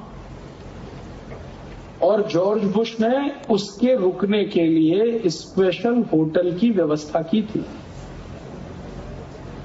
और पूरा एक होटल जॉर्ज बुश के छप्पन कुत्तों के लिए बुक था। दिल्ली का। छप्पन कुत्तों के लिए पूरा होटल बुक था। और उस होटल के मालिक को कह दिया गया था कि ये आपको करना है। तो मालिक कह रहा था कि अब तक तो मेरे कमरों में आदमी रुके अब ये कुत्ते रहेंगे। तो उन्होंने कहा हाँ ये खास कुत्ते हैं। इनकी ज़रूरत अमेरिका के राष्ट्रपति को है और उनकी सुरक्षा के काम में ये लगे हुए हैं। तो कुत्ते कितने महत्वपूर्ण होते हैं, ये जॉर्ज बुश से पूछ ले। और हमारे देश के म्यूनिसिपल कॉरपोरेशन उनको मारने में लगे। और इतना ही नहीं, उससे भी ज़्यादा खतरनाक काम, कि अगर उनको मार नहीं सको तो उनका नसबंदी करा दो, ताकि उनकी आगे जनरेशन ना बढ़ सके। ऐसे ऐसे विचित्र बुद्धि के लोग इस देश को चला रहे कहते हैं, जी, कुत्ते ने काट लिया तो? मैं उनसे कहता हूँ कि, आप बिल्कुल घबराओ मत। कुत्ते के काटने से तो ज़रूर बच जाओगे। उससे ज़्यादा खतरनाक तो आदमी है। उसने काट लिया तो बचने के कोई चांसेस नहीं। कुत्ता तो हमेशा वफादारी निभाता है। आदमी का कोई भरोसा नहीं। और आपको अब मैं एक बहुत सीरियस बात बताने जा रहा हूँ कि कुत्तों की क्या ज़रूरत है इस देश को, हमको। थोड़े दिन पहले सुनामी आया था, आपने सुना? और सुनामी आया तो मैं और मेरे कुछ दोस्त, सहयोगी मिलकर सेवा कार्य करने के लिए अंडमान निकोबार गए थे। लगभग एक महीने हमने वहाँ सेवा कार्य किया था। क्या सेवा कार्य किया था? वहाँ के लोग जो भयंकर सुनामी से पीड़ित थे उनको स्ट्रेस बहुत था मेंटल स्ट्रेस और अक्सर ऐसे बड़े दुर्घटनाओं में स्ट्रेस होता है। और उसकी दवा सबसे अच्छी होम्योपैथी में है। मैं थोड़ा होम्योपैथी जानता हूँ। तो मेरे होम्योपैथी डॉक्टर दोस्तों को लेके एक महीने हमने वहाँ सेवा कार्य किया था। लगभग साढ़े तीन हज़ार मरीजों को होम्योपैथी की दवाएँ देकर मेंटल स्ट्रेस से बाहर लाया था। तो उस समय मैं जितने भी गाँव में गया, अंडमान निकोबार के हर गाँव में मैं एक प्रश्न पूछता था लोगों से, कितने लोग मरे? तो किसी गाँव में सौ लोग, किसी में डेढ़ सौ, किसी में पचास, किसी में सत्तर, किसी में पिचहत्तर। एक गाँव में तो पता चला डेढ़ हज़ार लोग मर गए। अच्छा ये प्रश्न पूरा होने के बाद दूसरा प्रश्न मैं जानबूझ के पूछता था कि आपके गाँव में कितने जानवर मरे? तो पता चला एक भी नहीं। कुत्ता मरा, नहीं मरा। गाय मरी, नहीं मरा। भैंस मरी, नहीं मरा। बंदर मरा, नहीं। कौन जानवर मरा? एक भी नहीं। अच्छा पक्षी कितने मरे? एक भी नहीं। और मनुष्य कितने मर गए? छत्तीस हज़ार। कैसे मर गए? तो इसका उत्तर मुझे गाँव के एक सरपंच ने दिया। आपको मालूम नहीं, मनुष्य मूर्ख होता है। तो मैंने कहा, इसका कहने का मतलब क्या है आपका? उन्होंने कहा, मनुष्य महामूर्ख होता है, जानवरों को मनुष्य से ज़्यादा अकल होती है। मैंने पूछा, बता दीजिए, मुझे सिद्ध कर दीजिए। उन्होंने कहा, मैं बताता हूँ। वो सरपंच मुझे मिला, अंडमान निकोबार के एक गाँव में, उस गाँव का नाम है बंबू फ्लैट। अंडमान निकोबार की जो राजधानी है, वहाँ से 60 मील नॉटिकल मील, समुद्र में अंदर एक टापू है, टापू पर ये गाँव। तो सरपंच ने कहा कि देखो, मैं आपको बताता हूँ। जब सुनामी आया, उससे दो दिन पहले मेरे कुत्ते को मालूम था कि सुनामी आ रहा है। जब सुनामी आया, उससे दो दिन पहले मेरी गाय को मालूम था सुनामी आ रहा है। जब सुनामी आया तो मेरी भैंस को मालूम था कि सुनामी आ रहा है। जब सुनामी आया तो मेरे घर के चूहों को, ऊंधर को मालूम था कि सुनामी आ रहा है। जब सुनामी आया तो बिल्ली को मालूम था कि सुनामी आ रहा है। जब सुनामी आया तो कीड़ी चींटी आंट्स को मालूम था कि सुनामी आ रहा है। लेकिन हम मूर्खों में से किसी को नहीं मालूम था कि सुनामी आ रहा है। का आपको मालूम है, भारत सरकार ने अंतरिक्ष में कितने सैटेलाइट छोड़े उनकी संख्या धीरे धीरे अभी छप्पन हो गई है। हज़ारों करोड़ रुपए इन सैटेलाइट पे हर साल खर्च होता है। और उसमें से कुछ सैटेलाइट सिर्फ़ इस बात के लिए है कि वो समुद्र में होने वाली हर गतिविधि को ध्यान में रखें। तो सारे सैटेलाइट फेल हो गए, हज़ारों करोड़ रुपए वाले। बता नहीं सके कि सुनामी आ रहा है। और हमारे घर के आसपास रहने वाले ये जानवर, कुत्ता, बिल्ली, बंदर, कीड़ी, चींटी, गाय, भैंस, इन सबको मालूम था 24 घंटे पहले 48 घंटे पहले सुनामी आ रहा है। तो मैंने पूछा, इनको कैसे मालूम था? तो सरपंच ने कहा कि, देखिए, बात यह है कि सुनामी जिस दिन आया, उससे दो दिन पहले मेरा कुत्ता भाग गया। गाय चली गई, भैंस चली गई। मैंने कस के पकड़ के गाय को रस्सी बांधी थी, रस्सी को तोड़ के चली गई। मेरे घर में एक बंदर था, वो भी चला गया। दो दिन मुझे घर में चींटियाँ नहीं दिखाई दी, जो रोज निकलती। ऊंदर नहीं आया, वो भी कहीं चले गए। बिल्ली नहीं आई, वो भी कहीं चले गए। तो मैं समझ गया कि ज़रूर कुछ गड़बड़ होने वाली है। तो वो सरपंच ने कहा कि मैं भी चला गया। घर छोड़कर। तो मैं बच गया और मेरे घर में से कोई दूसरा नहीं बचा। तो सरपंच ने मुझे एक बात कही कि आप कहीं भी जाना, लोगों को बताना। कि सुनामी में एक भी जानवर नहीं मरा। मनुष्य छत्तीस हज़ार मरे। इसका माने मनुष्य की अकल कम है। जानवरों की उससे ज़्यादा है। इन जानवरों को ईश्वर का दिया हुआ कोई वरदान है? या सिक्स सेंस है, जिससे ये पता कर लेते हैं। और जानवरों में सबसे पहले पता जिसको होता है, वो ये कुत्ता ही होता है। और हमारे मूर्ख महानगर पालिका के अधिकारी इन्हीं कुत्तों को मारने में लगे हुए हैं गाँव का कल्पना करो, सब कुत्ते खत्म हो गए तो? तो दोबारा सुनामी आएगा तो बताने वाला कोई नहीं होगा। हम इन जानवरों को कमतर समझते हैं। तब मेरी उसकी आखिरी जो संवाद हुई सरपंच की तो वो बहुत ही मज़ेदार थी। सरपंच ने कहा कि आप सब शहर वाले गाली देते हैं। कि तू कुत्ता है? आप शहर वाले गाली देते हैं, तू गधा है? आप शहर वाले गाली देते हैं कि तेरी बुद्धि भैंस की है? आगे से नहीं कहना ये। आगे से कहना तू आदमी है? तुझको अकल नहीं है? समझता नहीं है? और जितना ज्ञान उस सरपंच ने मुझे दिया, मैं अभिभूत हो गया उससे। मैंने चलते चलते सरपंच को पूछा, भाई, तुमको ये ज्ञान कहाँ से मिला? तो उसने कहा कि ये ज्ञान हर एक व्यक्ति को मिल सकता है अगर आँखें खुली रखे, कान खुले रखे। तो ये परिस्थिति जो पूरी हमारी है, पर्यावरण, इसमें ये ज्ञान भरा पड़ा है। मैंने पूछा, थोड़ा दे दो मुझे भी। तो उसने कहा, लिख लो और कभी भी टेस्ट कर लेना, फेल नहीं होगा ये सैटेलाइट फेल हो जाएगा, ये फेल नहीं होगा। उसने मुझे कुछ ऐसी बातें बताई हैं, जो आज तक मैं परीक्षण कर रहा हूँ और सही सिद्ध हो रहे। वो कहता है कि अगर चींटी, कीड़ी, ज़्यादा संख्या में बाहर निकले और खाना इकट्ठा करके ले जाने की कोशिश करे तो समझना बहुत ज़्यादा बारिश होने वाली है, बाढ़ आने वाली है, फ्लड आने वाली है। और ये जो मुंबई में अभी थोड़े दिन पहले फ्लड आया ना, फ्लड आने से दो तीन दिन पहले मुंबई के बहुत घरों से ये जानकारी मैंने कंफर्म की और उन्होंने कहा, बात आपकी बिल्कुल सही है। दो तीन दिन पहले ढेर सारी चींटियाँ निकली थी और सब खाना ले ले जाके इकट्ठा कर रही थी।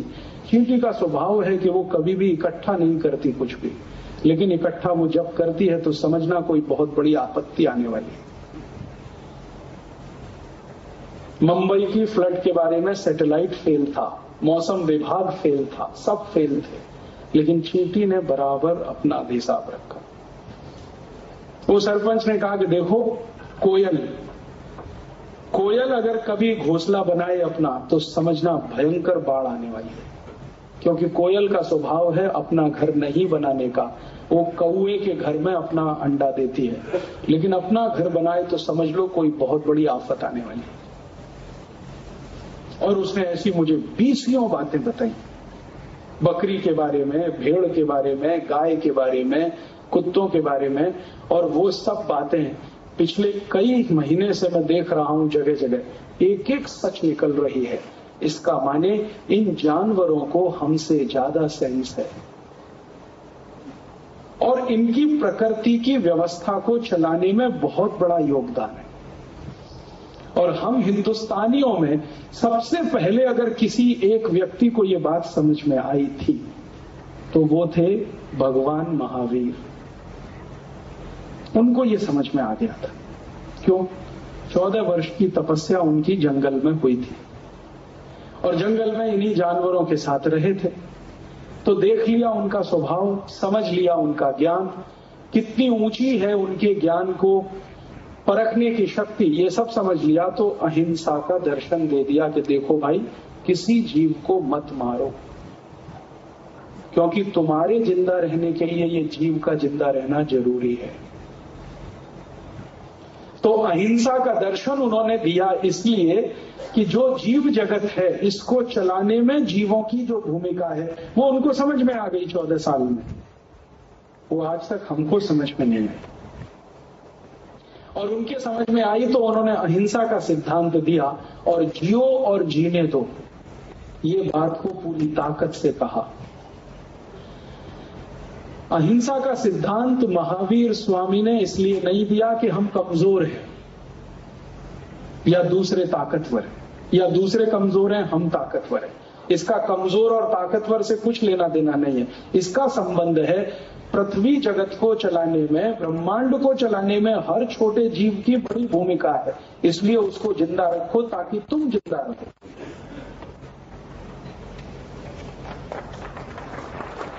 और ये बात महावीर स्वामी के बाद अगर किसी को समझ में आई तो वो गौतम बुद्ध थे। और इन दोनों के चले जाने के बाद जिसको समझ में आई, वो महात्मा गांधी थे। अब कोई दिखता नहीं है जिसको ये समझ में आता हो। तो परिणाम क्या हो रहा है? बड़े पैमाने पर जानवरों का कत्ल हो रहा है। गाय का, भैंस का, बकरी का, बकरे का, कुत्तों का। गाय का आंकड़ा मैंने बताया, ढाई करोड़ तो प्रतिवर्ष गाय का कत्ल होता है, भैंस का एक सवा करोड़ प्रतिवर्ष कत्ल होता है, डूकर, सुअरों का ढाई से तीन करोड़ का कत्ल प्रतिवर्ष का है। बकरे, बकरियाँ, छोटे जानवरों की संख्या करोड़ों में है, गिनी नहीं जा सकती है। तो भारत एक ऐसा देश बन गया है जहाँ कत्ल ही कत्ल होता है। और दुख मुझे इसी बात का है कि इसी भारत देश में महावीर स्वामी हुए, इसी भारत देश में महात्मा बुद्ध हुए, इसी भारत में गांधी हुए, इसी भारत में राम हुए, कृष्ण हुए, ज़िंदगी पर्यंत जिन्होंने अहिंसा हमको बताई और सिखाई, उसी भारत में इस समय सबसे ज़्यादा हिंसा हो रही है। और जानवरों के प्रति तो कितनी क्रूरता हो रही है, आप उसकी कल्पना नहीं कर सकते। कभी अगर आपको अपनी आँखों से देखना हो कि कितनी क्रूरता होती है जानवरों के खिलाफ तो आप कभी चले जाइए मुंबई में देवनार नाम का एक गाँव है, वहाँ पर एक कत्ल खाना चलता है। कैसे कत्ल किया जाता है, आप देख लीजिए अपनी आँखों से। आंध्र प्रदेश में मेदक नाम का एक जिला है, वहाँ पर एक और कत्ल खाना चलता है, अल कबीर, उसको देखाइए, पता चलेगा। औरंगाबाद के आसपास कई कत्ल खाने चलते हैं, इनको देख लीजिए।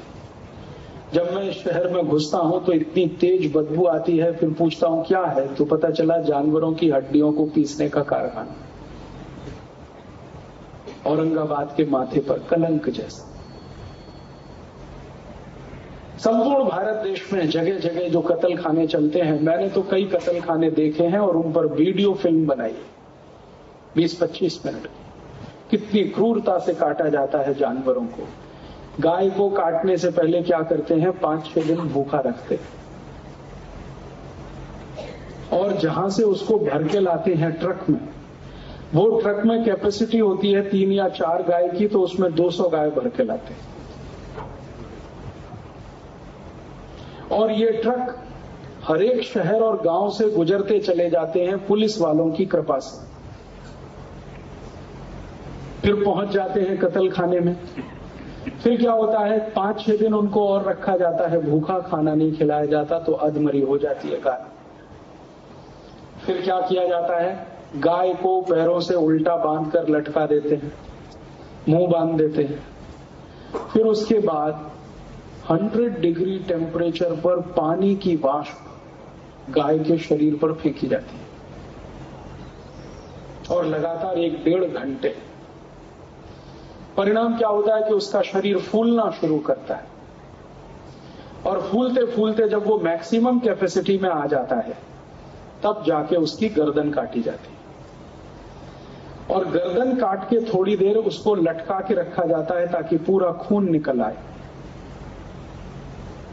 फिर उसके बाद जब गर्दन कट के गिर जाती है, अंतिम खून की बूंद निकल जाती है फिर चाकू और छुरी से, तेज धार की चाकू छुरी से उसकी खाल उतारी जाती है।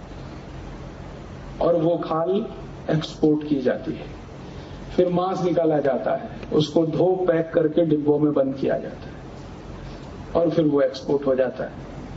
फिर जो खून निकलता है, उस खून को भारत की ही कुछ कंपनियाँ खरीद लेती हैं। उससे वो हेल्थ टॉनिक बनाती है। भारत के बाज़ार में बिकने वाला एक हेल्थ टॉनिक है, जिसका नाम है डेक्सो रेंज वो इसी से बनता है।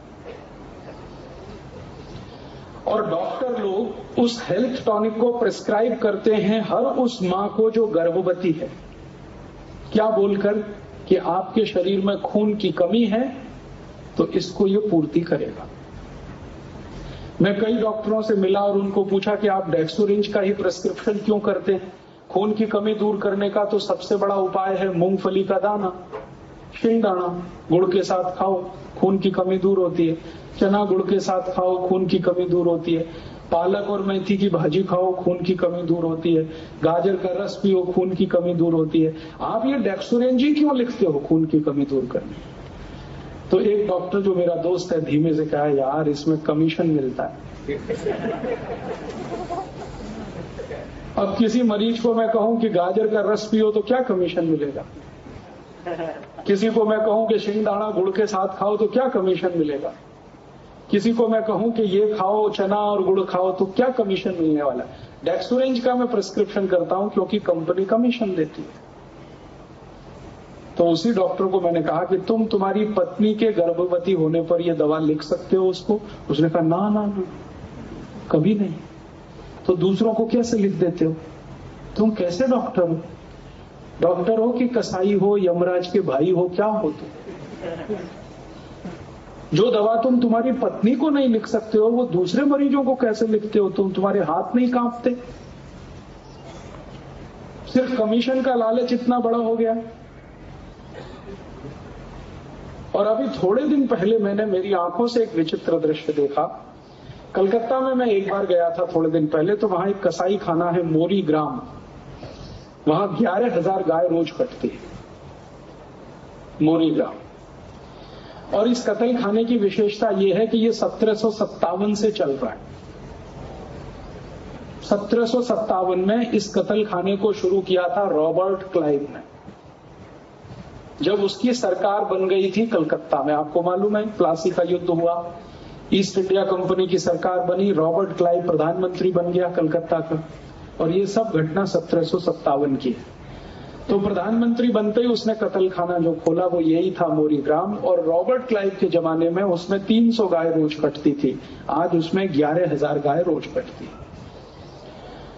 मांस ऐसे ही एक्सपोर्ट होता है, तरीका वही है काटने का जो मैंने थोड़ी देर पहले बताया। लेकिन जो खून निकलता है, उसको कुछ लोग खरीद के ले जाते हैं। मैंने देखा कि वो सब चाय के व्यापारी। तो पूछा, भैया, तुम क्या कर रहे हो?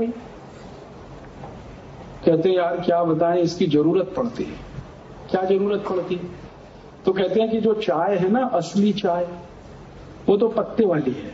वो तो हमको देखने को भी नहीं मिलती। है वो टी बैग्स में पैक होके सब एक्सपोर्ट हो जाती है। अब पत्ते वाली चाय को चुनते समय जो टी डस्ट रह जाती है, पीछे से टूटी हुई छोटी छोटी डंडियाँ, वो भारत में बिकती है। अब उसकी समस्या ये है कि उसको पानी में डालो तो पूरा कलर नहीं आता। तो उस टी डस्ट पर जानवरों के कतल खानों से निकाले गए खून की कोटिंग करके, सुखा के भारत में बेचा जाता है। और भारतवासी जिस दिन उपवास करते हैं, उस दिन चाय ज़रूर पीते हैं।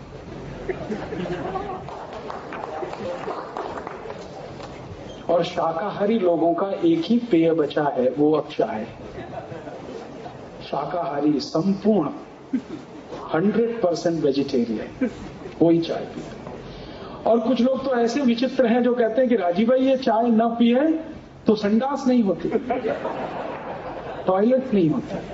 स्टूल पास नहीं कुछ लोग कहते हैं ये चाय ना पिए तो सिर में दर्द होता है काम नहीं कर सकते. कुछ लोग कहते हैं ये चाय ना पिए तो फ्रेशनेस नहीं आती कुछ लोग कहते हैं ये चाय ना पिए तो काम नहीं क्या विचित्र विचित्र कुतर्क गढ़ते हैं। और मुंबई में एक बाज़ार है मूलजी जेठा बाज़ार।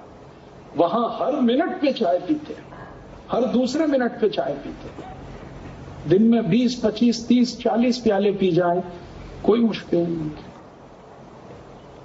ऐसा सब विचित्र खेल इस देश में चलता है। मुझे दुख इस बात का है कि जो हिंसा कर रहे हैं, जानवरों का कत्ल कर रहे हैं, वो तो पाप के भागीदार हैं ही। जो अपने को अहिंसक मानते हैं और इस पद्धति से चाय पी रहे हैं, या डेक्सोरेंज खरीद कर अपनी पत्नी को पिला रहे हैं या बच्चों को दे रहे हैं, वो भी इस हिंसा के भागीदार हैं। और भारतीय शास्त्रों में लिखा गया है कि हिंसा करने का जितना पाप प्रत्यक्ष हिंसक को होता है, माने जो हिंसा कर रहा है, उसको जितना पाप होता है, हिंसा की मदद करने वाले को भी उतना ही पाप होता है।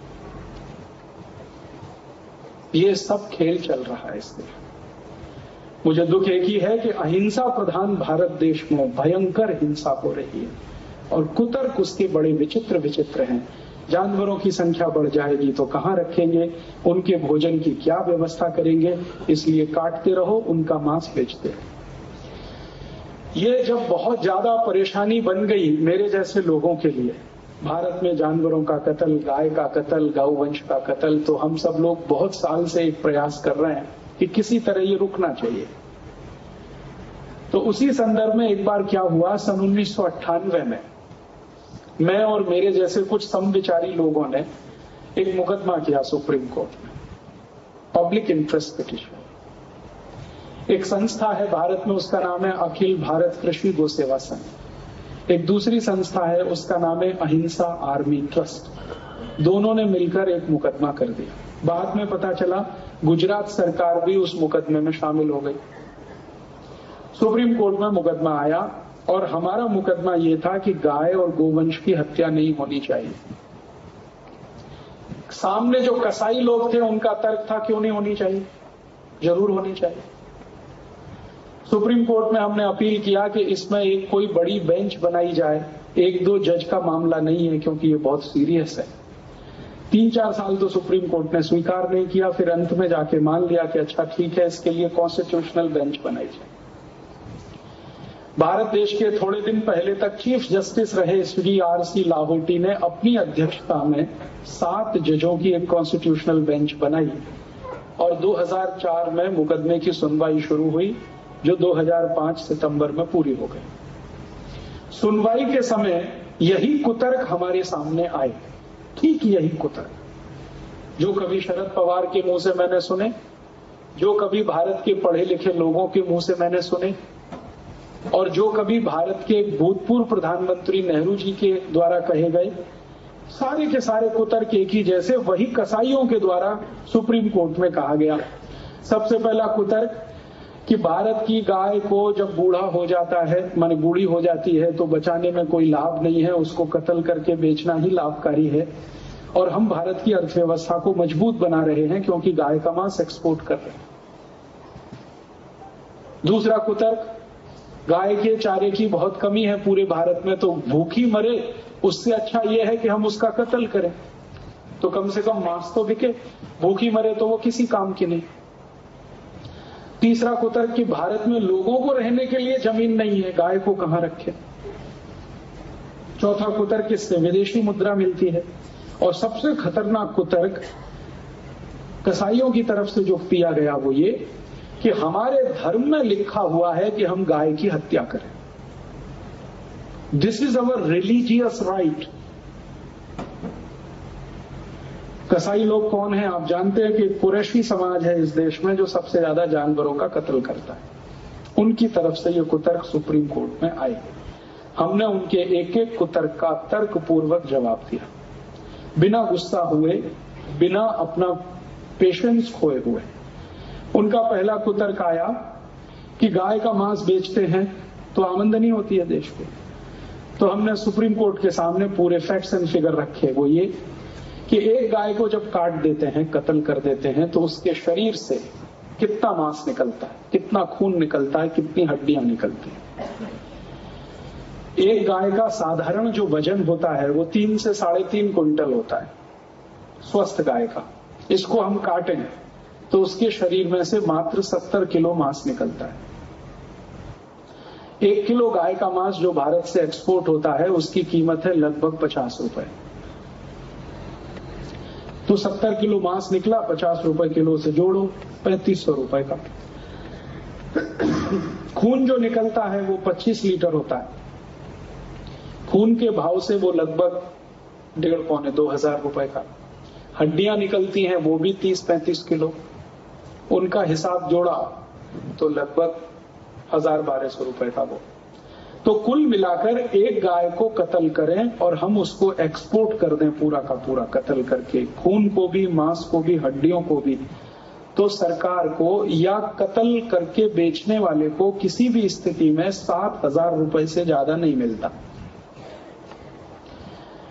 फिर हमने कोर्ट के सामने दूसरी बात कही कि यही गाय को अगर कत्ल नहीं किया जाए तो क्या मिलता है? हमने कत्ल किया तो सात हज़ार मिलेगा। और अगर हम कत्ल ना करें, इसको ज़िंदा रखें तो कितना मिलेगा? तो उसका कैलकुलेशन है। एक गाय दिन में लगभग 10 किलो शेन देती है, गोबर। अगर स्वस्थ है तो। और एक गाय दिन में ढाई से तीन लीटर मूत्र देती है, अगर स्वस्थ है तो। गाय के एक किलो शेण से 33 किलो खाद बनती है फर्टिलाइज़र, जिसको ऑर्गेनिक फर्टिलाइज़र कहते हैं 33 किलो, एक किलो शेण से। न्यायाधीश ने पूछा हाउ इज़ इट पॉसिबल तो हमने कहा, आप हमको समय दीजिए और स्पेस दीजिए, हम आपको यही सिद्ध करके बताते हैं। उनका, यस, ठीक है। तो हमने उनको पूरा करके दिखाया। और सिर्फ़ करके ही नहीं दिखाया। उनको हमने कहा कि अगर आपको परमिशन हो प्रोटोकॉल के खिलाफ ये ना जाता हो तो आप चलिए, हमारे साथ हम आपको दिखाते। कहाँ कहाँ किन किन खेतों में हम एक किलो गाय के शेड से तैतीस किलो खत बना रहे मेरे अपने गाँव में मैं बनाता हूँ। मेरे आई बाबा दोनों शेतकरी हैं खेती करते मेरे घर में पंद्रह साल से गाय के शेन से ही खेती करता हूँ। एक किलो शेन है तो 33 किलो खत बनता है बड़े आराम से। और एक किलो खत का अंतर्राष्ट्रीय बाज़ार में जो भाव है, वो छह रुपए है। तो 33 किलो का लगभग अठारह सौ रुपए। अठारह सौ रुपए एक दिन में गाय के शेन से मिलता है, एक दिन में। और गाय का शेन में कोई संडे नहीं होता। वीकली ऑफ़ नहीं होता। हर दिन मिलता है। तो साल में कितना? 1800 में तीन सौ पैंसठ का गुणा कर लो। ये तो हुआ शेण एक साल का। और एक गाय की सामान्य उम्र 20 साल है। और वो जीवन के अंतिम दिन तक शेण देती है। तो 1800 गुणा तीन सौ पैंसठ गुणा बीस। और ये कैलकुलेशन लगभग लाख रुपए के ऊपर गया। दो लाख के आसपास आता है। तो मैंने कहा, इतना तो मिला। सॉरी चालीस लाख के आसपास आता है। दो लाख गलत बोले। तो चालीस लाख रुपए तो मिल जाएगा शेण से। अब आया मूत्र। रोज का दो सवा दो लीटर। और उस मूत्र से 48 औषधियाँ बनती डायबिटीज़ की औषधि बनती है। Arthritis, bronchitis, bronchial pneumonia, tuberculosis osteomyelitis osteoporosis ऐसे 48 रोगों की औषधियाँ गाय मूत्र से बनती हैं और गाय के एक लीटर मूत्र का बाज़ार में दवा के रूप में कीमत लगभग पाँच सौ रुपए। इस समय भारत के बाज़ार, अंतर्राष्ट्रीय बाज़ार में तो उससे भी ज़्यादा। आपको मालूम है, अमेरिका में गोमूत्र पेटेंट है और अमेरिकन गवर्नमेंट भारत की गाय का मूत्र इंपोर्ट करती है हर साल। कैंसर की मेडिसिन बनाते हैं उससे। डायबिटीज़ की मेडिसिन बनाते हैं। और अमेरिका में गोमूत्र पर एक, दो नहीं, तीन पेटेंट है। तो अगर अमेरिकन मार्केट का अगर कैलकुलेशन करें तो एक लीटर गाय का मूत्र 1200 1300 रुपए के आसपास बैठता है। तो रोज का तीन हज़ार रुपए का मूत्र।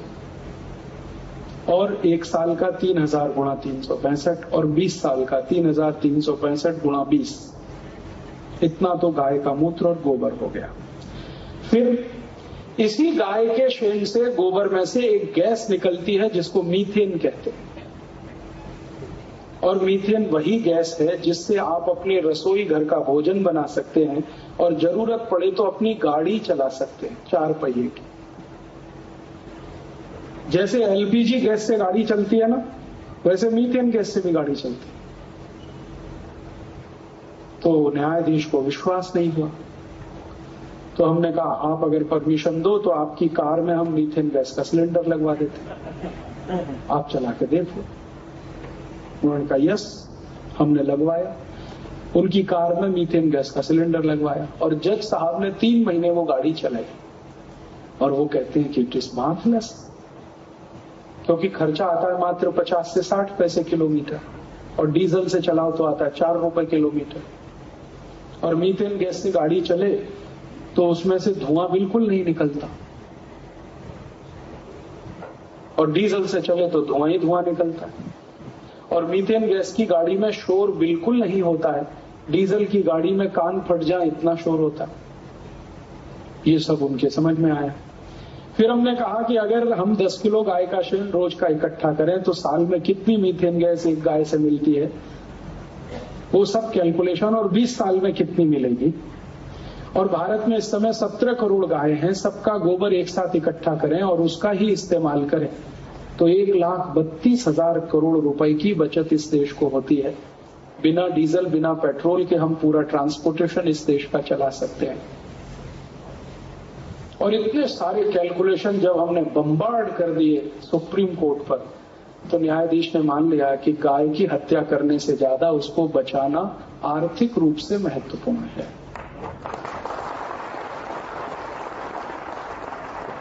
जब कोर्ट की ओपिनियन आई तो ये कसाई लोग भड़क गए।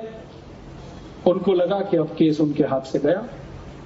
क्योंकि उन्होंने हिसाब जोड़ के दिया था कि हम कत्ल करते हैं तो एक गाय से सात हज़ार की इनकम। यहाँ हमने सिद्ध कर दिया कि उसको ज़िंदा रख लो तो लाखों रुपए की इनकम। फिर उन्होंने एक ट्रंप कार्ड चला, कसाई में। उन्होंने कहा कि ये हमारा धार्मिक अधिकार है कि हम गाय का कत्ल करें। This is our religious right हमने कोर्ट को कहा कि अगर इनका ये धार्मिक अधिकार है तो जरा इतिहास में पता करो कि जितने भी मुस्लिम राजा हुए किस किसने अपने इस धार्मिक अधिकार का उपयोग किया। तो कोर्ट ने कहा, ठीक है, एक कमीशन बनाओ, हिस्टोरियंस को बुलाओ और जितने मुस्लिम राजा भारत में हुए, सबकी हिस्ट्री निकालो डॉक्यूमेंट्स निकालो, और किस किस मुस्लिम राजा ने धार्मिक अधिकार का उपयोग किया गाय के कत्ल के रूप में? पुराने डॉक्यूमेंट्स जब निकाले गए तो पता चला कि भारत में जितने भी मुस्लिम राजा हुए, उनमें से एक ने भी गाय का कत्ल किया नहीं। उल्टे, कई मुस्लिम राजाओं ने गाय का कत्ल रोकने के लिए कानून बनाए। उनमें से एक नाम बता देता हूँ, बाबर। बाबर ने अपनी पुस्तक जिसका नाम है बाबर नामा उसमें लिखवाया है कि मेरे मरने के बाद भी गाय का कत्ल का कानून जारी रहना चाहिए। माने गाय का कत्ल नहीं होना चाहिए। तो बाबर ने तो ये कानून बनाया, हुमायूं ने भी उसी कानून का पालन किया, क्योंकि बाबर उसका बाप था। और हुमायूं के बाद जितने मुगल बादशाह थे, सबने इसका पालन किया इंक्लूडिंग औरंगज़ेब। फिर दक्षिण भारत में एक बड़ा मुस्लिम राजा था, उसका नाम था हैदर अली, टीपू सुल्तान का बाप। उसने एक कानून बनाया था कि अगर कोई गाय की हत्या करेगा तो हैदर अली उसके दोनों हाथ काट देगा। शिक्षा के रूप में, दंड के। जम्मू कश्मीर में जितने मुस्लिम राजा हुए, सबने कानून बनाए। गाय की हत्या कोई करेगा तो उसको मृत्यु दंड। तो ये सब जब दस्तावेज़ कोर्ट के सामने आए तो हमने कोर्ट को कहा कि आप जरा बताइए कि अगर इस्लाम में गाय को कत्ल करना धार्मिक अधिकार होता तो बाबर तो कट्टर इस्लामिक था। पाँच वक्त की नमाज़ पढ़ता था। हुमायूं भी था, जहांगीर भी था, औरंगज़ेब तो सबसे ज़्यादा कट्टर था। तो इन्होंने क्यों नहीं गाय का कत्ल करवाया? और क्यों गाय का कत्ल रोकने के कानून बनवाए? क्यों हैदर अली ने कानून बनाया कि गाय का कत्ल करेगा तो हाथ काट देंगे उसका? क्यों टीपू सुल्तान ने उस कानून का पालन किया? तो हमने कोर्ट से कहा कि आप अगर हम ये इजाज़त दें तो हम कुरान शरीफ, हदीस, जितनी भी पुस्तकें हैं वो पेश करते हैं और उनमें से कहा लिखा है गाय को कत्ल करो, ये हम जानना चाहते हैं। और आपको पता चलेगा कि इस्लाम की कोई भी धार्मिक पुस्तक में नहीं लिखा है कि गाय का कत्ल करो। हदीस में तो लिखा हुआ है कि गाय की रक्षा करो क्योंकि वो तुम्हारी रक्षा करती है। पैगंबर मोहम्मद साहब का स्टेटमेंट है कि गाय अबोल जानवर है, इसलिए उस पर दया करो। एक जगह तो ये लिखा है कि गाय का कत्ल करोगे तो दो जख में भी ज़मीन नहीं मिलेगी, माने जहन्नुम में भी ज़मीन नहीं मिलेगी। तो फिर हमने कहा कि अगर मोहम्मद साहब ये कहते हैं कुरान ये कहती है, हदीस ये कहती है तो फिर ये गाय का कत्ल करना धार्मिक अधिकार कभी से हुआ भारत में? इनको पूछो जरा कसाई में। तो वो बौखला गए हमने कहा, अगर मक्का मदीना में कोई किताब हो तो ले आओ, उसमें भी देख लेते। कोर्ट ने उनको एक महीने की परमिशन दिया कि आप एक महीने में ऐसा कोई दस्तावेज़ ला के दे दो, जिससे ये पता चलता हो कि गाय का कत्ल करना इस्लाम का मूल अधिकार है। मान लेंगे। एक महीने तक भी कोई दस्तावेज़ नहीं मिला। तो कोर्ट ने कहा कि अब हम ज़्यादा समय नहीं दे सकते। और पिछले साल 26 सितंबर सन 2005 को सुप्रीम कोर्ट ने जजमेंट सुना दिया। वो जजमेंट की कॉपी मेरे पास है। अगर आप में से किसी को इंटरेस्ट हो तो इसकी फोटोकॉपी ले सकते हैं। और अगर आपके पास इंटरनेट की फैसिलिटी हो तो W W W dot supreme court case law dot com ये वेबसाइट एड्रेस है सुप्रीम कोर्ट का। उस पर से इसको डाउनलोड कर सकते हैं। ये छियासठ पन्ने का जजमेंट है और भारत के सुप्रीम कोर्ट के इतिहास का सबसे ऐतिहासिक जजमेंट। और उस मंगल पांडे ने इतिहास बना दिया। वो फांसी पर चढ़ गया, लेकिन अपने मुँह से गाय की चर्बी के कारतूस उसने नहीं खोले। और जिस अंग्रेज़ अधिकारी ने उसको मजबूर किया, उसको गोली मार दी उस मंगल पांडे तो हमने कहा था ये बात। कि भारत की आज़ादी का इतिहास शुरू होता है गाय की रक्षा से। इसलिए गाय की रक्षा उतनी ही महत्वपूर्ण है जितनी हमारी आज़ादी। और आज़ादी का जब आंदोलन हुआ तो आपको सुनकर आश्चर्य होगा कि भारत में अठारह के बाद जब मंगल पांडे को फांसी हो गई तो गाँव गाँव में गो रक्षा के लिए लोगों ने समितियाँ बनाई और उन समितियों ने आज़ादी का आंदोलन लड़ा। गो रक्षा समितियों ने आज़ादी की लड़ाई लड़ी। और अठारह में इस देश में सात लाख बत्तीस हज़ार गाँव थे। ऐसा कोई गाँव नहीं बचा जहाँ गोरक्षा समिति ना बनी हो। और ऐसी कोई समिति नहीं थी जिसमें कम से कम ग्यारह सदस्य ना हो। और मज़े की बात यह थी कि इन समितियों में हिंदू भी और मुसलमान भी, दोनों। जैन भी, सिख भी, पारसी भी, बौद्ध भी, सब इसमें थे। कारण क्या है? कारण ये है कि भारत के ज़्यादातर मुसलमान कन्वर्टेड हैं, हिंदू ही थे, तलवार की ज़ोर पर या किसी लालच में आकर मुसलमान बने। तो संस्कार उनके अभी तक नहीं गए। और ये आपको अगर देखना हो तो आप आइए, मैं आपको दिखाता हूँ। गुजरात में कच्छ नाम का एक जिला है। कच्छ ज़िले में सभी मुसलमान गाय पालते हैं। एक नहीं, कच्छ के दसियों गाँव में। क्योंकि मैंने कच्छ में चार महीने रहकर देखा है। जब वहाँ भूकंप आया था, तब भी मैं सेवा कार्य के लिए गया था। चार महीने रहा था। कच्छ के हर गाँव में मुसलमानों के पास गाय है। मैं उनसे पूछता था, आप गाय क्यों पालते हैं? तो उनका, दूध के लिए। हमको दूध चाहिए, तूप चाहिए, घी चाहिए। गाय के दूध से मिठाई बना के हमारा रोज़गार चलता है, इसलिए गाय पालते हैं। और ये सिर्फ़ कच्छ में ही नहीं होता है। राजस्थान में आप आइए, बीकानेर, जैसलमेर, जोधपुर, बाड़मेर, ये सभी जिलों में जितने भी मुसलमान हैं, वो गाय पालते हैं। और जैसलमेर, जोधपुर, बीकानेर, बाड़मेर के इलाके में राठ जाति के एक भी मुसलमान का घर ऐसा नहीं है जहाँ गाय नहीं है। हर जगह गाय आप हरियाणा में आइए हरियाणा में मेवात नाम का एक इलाका है, जो राजस्थान से लगा हुआ है, दिल्ली के नज़दीक। सभी मेवाती मुसलमानों के घर में गाय है, वो भी गाय पालते तो भारत की आज़ादी के आंदोलन में जो गोरक्षा आंदोलन चला, उसमें मुसलमान भी शामिल थे तो उसका इतिहास यह है कि वो भी गाय पालते हैं वर्षों से। उनको भी दूध चाहिए, घी चाहिए। और हिंदू तो इसलिए पालते हैं कि उनको मोक्ष मिलेगा। जैन, ईसाई, पारसी, बौद्ध जितने भी हिंदुस्तानी हैं, लगभग सभी गाय पालते रहे। तो आज़ादी के आंदोलन में गोरक्षा के काम में हिंदू, मुसलमान सब एक साथ मिलकर लड़ रहे थे और ये आंदोलन इतना ताकतवर हो गया था कि सन अठारह में अंग्रेज़ों की रानी ने भारत के वॉयसराय को एक पत्र लिखा। वो पत्र की कॉपी मेरे पास है। भारत का उस समय वॉयसराय था, उसका नाम था लेंस डाउन। और उसका जो नीचे का अधिकारी था लेंस डाउन के नीचे, दोनों को पत्र लिखा रानी ने। और पत्र में लिखा कि देखिए, भारत में धीरे धीरे गोरक्षा आंदोलन इतना तीव्र हो गया है कि हम अंग्रेज़ों को अब भारत में रहना मुश्किल है। क्यों? तो पत्र में वो लिख रही है कि साढ़े तीन सौ कतल खाने हमने भारत में शुरू किए हैं जिसमें साल में लगभग पचास हज़ार गाय कटती है, वो सब गाय का मांस हमारे अंग्रेज़ सैनिक खाते हैं। भारतवासियों को ये पसंद नहीं आता है और उनका विद्रोह और आक्रोश इतना तेज है कि हिंदू और मुसलमान सब मिलकर हमारे खिलाफ हैं। फिर आगे लिख रही है कि मैं आपको आदेश देती हूँ कि आप जल्दी से इस आंदोलन को खत्म करने के लिए कुछ करिए, नहीं तो अंग्रेज़ों को भारत से भागना पड़ेगा। फिर अंत में वो सुझाव दे रही है, पत्र में, कि मेरा एक सुझाव है, अगर आप करें तो बहुत अच्छा।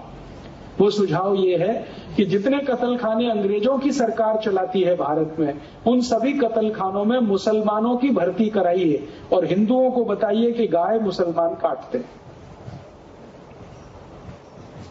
और उसके बाद पत्र उसने खत्म किया है। लेंस डाउन के पास जब ये पत्र आया तो उसका जो नीचे का अधिकारी था, उसका नाम था डलहौजी। उसने डलहौजी को पत्र दिखाया दोनों ने मिलकर कहा कि हाँ हम कोई ऐसा कोशिश करें। तो जितने अंग्रेज़ कतल खाने चलते थे, उन सब में मुसलमानों की ज़बरदस्ती भर्ती की गई और अखबारों में खबर छपाई गई कि देखो गाय मुसलमान काट रहे परिणाम क्या हुआ? परिणाम यह हुआ कि जो हिंदू और मुसलमान मिलकर गाय बचा रहे थे, उन्होंने एक दूसरे को काटना शुरू कर दिया। और सबसे बड़ा सांप्रदायिक दंगा इस हिंदुस्तान में अट्ठारह में हुआ। और उसके बाद आग लग गई पूरे देश। और ये आग इतनी ज़बरदस्त फैली कि सन 1905 में अंग्रेज़ों ने हिंदू और मुसलमान के आधार पर बंगाल का बंटवारा कर दिया। पूर्वी बंगाल मुसलमानों को, पश्चिमी बंगाल हिंदुओं को। और उस समय तक अंग्रेज़ों का वायसराय आ गया था, उसका नाम था करजन। करजन ने डिवीज़न ऑफ़ बंगाल एक्ट नाम का एक कानून बनाया, बंगाल के दो टुकड़े कर दिए। करजन को एक चिट्ठी आई ब्रिटिश पार्लियामेंट से। उसके जवाब में उसने कहा कि मैंने भारत में बंटवारे का बीज बो दिया है, एक दिन यही बीज वृक्ष बनेगा और भारत देश के दो टुकड़े करेगा। माने 1947 में भारत का जो बंटवारा हुआ, उसका बीज 1905 में बंगाल के बंटवारे में ही बो दिया गया। और अंग्रेज़ अपनी रणनीति में कामयाब हो गए। उनकी रणनीति क्या थी? बांटो और राज करो। डिवाइड एंड रूल हिंदुओं को मुसलमानों से लड़ाओ। तो परिणाम यही हुआ कि हिंदू मुसलमान तो आपस में लड़ने लगे। अंग्रेज़ों की सरकार चलती रही और गाय भी कटती रही और उनको मांस भी मिलता रहा। और उसका अंत यह है कि आज तक वही खेल हो रहा है। मैंने इस हिंदुस्तान में बहुत सारे मुस्लिम परिवारों में जाकर ये जानने की कोशिश की है कि कितने मुस्लिम परिवार हैं जो रोज गाय का मांस खाते तो पता चला कि भारत में एक टक्का भी मुसलमान नहीं है जो रोज गाय का मांस खाते वो ये कहते हैं कि साल में दो या तीन बार खाते हैं। लेकिन अगर आपको बहुत खराब लगता है तो हम बंद कर सकते हैं, इसमें कोई तकलीफ़ की बात नहीं। वो खुद कहते हैं। और इस विषय पर मैंने हैदराबाद में जो सबसे बड़ी मस्जिद है, उसके मौलाना से बात की है, लखनऊ में मौलाना वहीदुद्दीन से बात की है, दिल्ली में बात की है। सभी मौलाना उलेमा तैयार हैं कि अगर हिंदू समाज हमारे साथ बैठे तो हम गाय के कत्ल के प्रश्न को हल करना चाहते हैं। और इस बार आप जानते हैं कि ईद पर जो मुसलमानों की सबसे बड़ी संस्था है बरेली में, उन्होंने नोटिस जारी किया था कि कत्ल ना किया जाए। हिंदुओं की भावना को ठेस पहुँचती है। इसके लिए राष्ट्रीय स्वयंसेवक संघ के जो सरसंघ चालक हैं श्री सुदर्शन जी, उन्होंने बहुत प्रयास किया इस बार। और मुसलमानों ने उनकी बात को माना, आदर दिया और नहीं हुआ इस बार गाय का कत्ल। ईद पर, बकरीद पर। तो यह प्रश्न हल हो सकता है। समाज के स्तर पर, हिंदू मुसलमानों के स्तर पर हल हो सकता है। ये सब बात हमने सुप्रीम कोर्ट में कही। मैंने कहा, आप अगर इसको मानते हैं तो समाज भी हल कर लेगा। तो कोर्ट ने मान लिया कि सामाजिक रूप से गाय की रक्षा होना बहुत आवश्यक है, क्योंकि हिंदू मुसलमान की दोस्ती भी इससे बढ़ती है। फिर तीसरी, हमने कहा कि ये संस्कृति के लिए बहुत आवश्यक है कि गाय बचे, क्योंकि भारतीय संस्कृति का जो केंद्र है, देखिए, संस्कृति और सभ्यता किसी भी देश की आत्मा होती है। संस्कृति और सभ्यता में बहुत थोड़ा सा अंतर होता है। वो अंतर क्या होता है, मैं एक छोटे से उदाहरण से समझाता हूँ। और आप हमेशा याद रखें इसको। संस्कृति क्या है, सभ्यता क्या अगर यहाँ मंच पर मैं आपको एक कोई ऐसी महिला को पेश करूँ, जो मराठी स्टाइल की साड़ी पहने हुए हो तो आप तुरंत देख के पहचान लेंगे कि ये मराठी है। अगर कोई एक महिला ऐसी आए, जो बंगाली स्टाइल की साड़ी पहने हुए हो तो भी आप पहचान लेंगे कि ये बंगाली है। अगर कोई महिला गुजराती स्टाइल की साड़ी पहन के आए तो आप तुरंत पहचान लेंगे कि ये गुजराती है। अगर कोई महिला पंजाबी स्टाइल की साड़ी पहन के आए तो भी आप पहचान लेंगे ये पंजाबी है। माने मैं क्या कहना चाहता हूँ? साड़ी बांधने का जो स्टाइल है, वो संस्कृति है और साड़ी जो है वो सभ्यता है।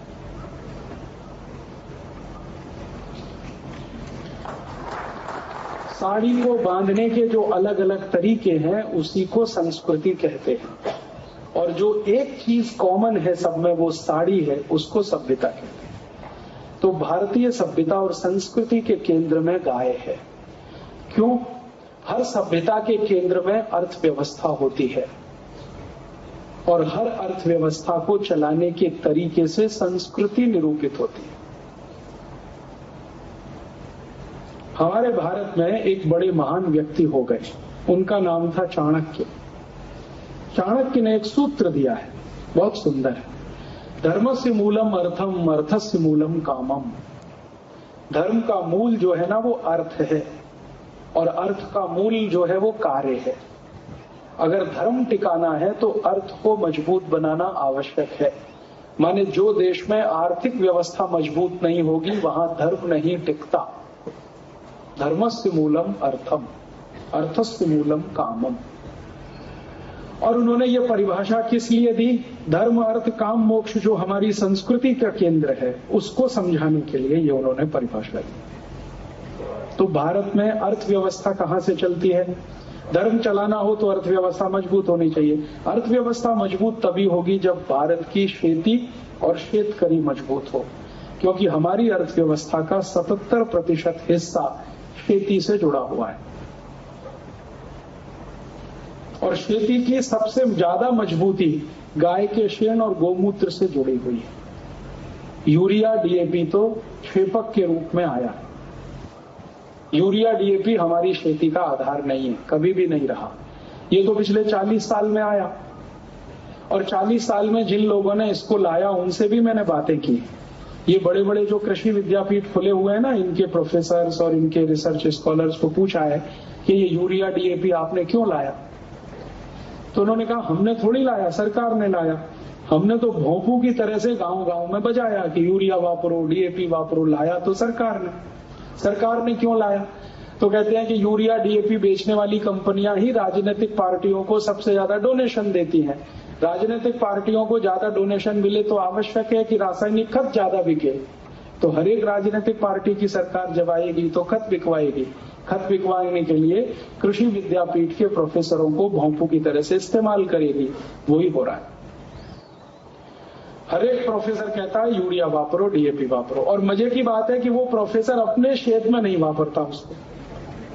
हाँ अपने क्षेत्र में नहीं डालेगा। यूरिया डीएपी सुपर कोई शेतकरी आएगा, उसको बताएगा, यूरिया डालो डीएपी डालो।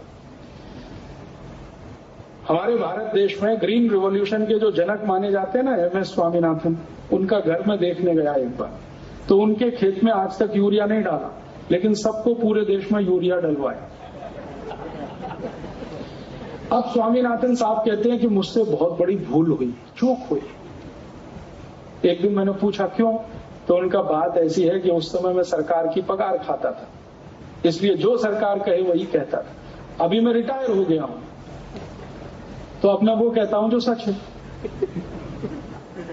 और आपको माहिती है कि एम एस स्वामीनाथन इस समय महाराष्ट्र सरकार की ऑर्गेनिक फ़ार्मिंग कमेटी के चेयरमैन है। Organic farming committee.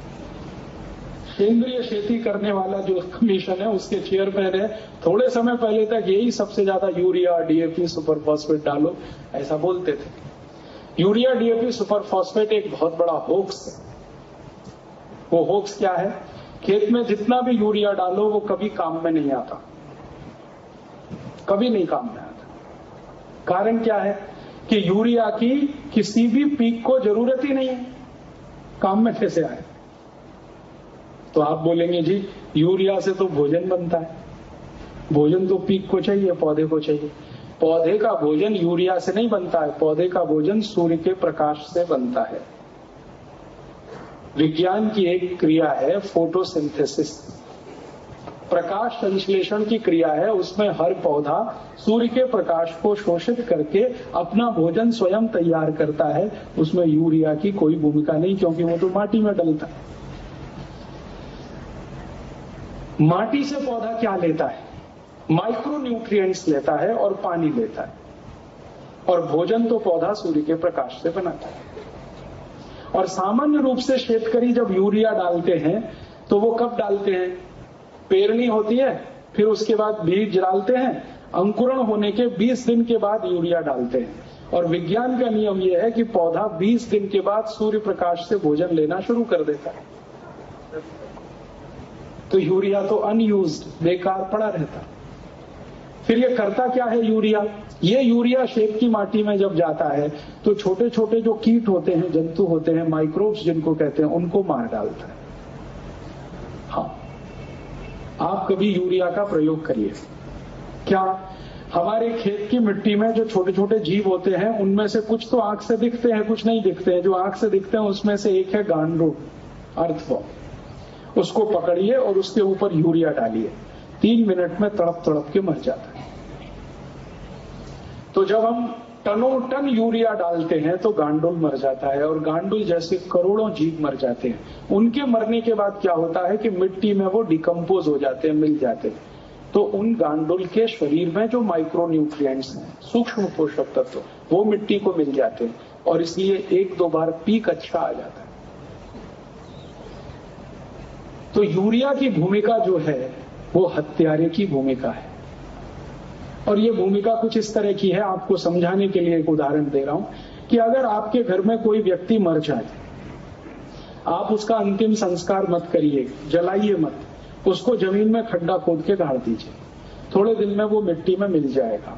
अब उस मिट्टी पर एक आम का झाड़ लगा दीजिए। सबसे जास्ती आम का फल उसी झाड़ पे आएगा। ये मैंने खुद करके देखा है। कोई गाय मर जाए, भैंस मर जाए, उसको ज़मीन में खड्डा खोद के गाड़ दीजिए, आम का झाड़ लगा दीजिए। सामान्य रूप से आम का झाड़ तीन वर्ष के बाद फल देता है, लेकिन गाय को जहाँ दफन किया है, वहाँ लगा दीजिए तो दो वर्ष में ही फल देता है। और कम से कम चार हज़ार आम पहले ही साल में मिल जाएँगे आपको। कैसे हुआ? गाय के शरीर में जो माइक्रो न्यूट्रिएंट्स हैं कैल्शियम है मैग्नीशियम है आयरन है सिलिकॉन है कोबाल्ट है, मनुष्य के शरीर में भी है गाय के शरीर। वो मिट्टी को मिल जाते हैं, उनकी ताकत पर पीक आता है। तो कई बार शेतकरी को ये भ्रम हो जाता है गैर समझ कि यूरिया डालने से बहुत पीक आता है। वो एक ही बार आता है, जब जीव मरते हैं।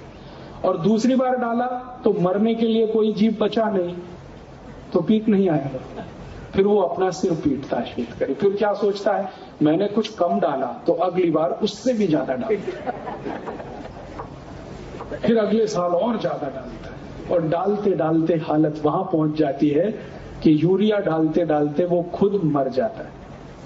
आत्महत्या कर लेता है। कारण क्या है?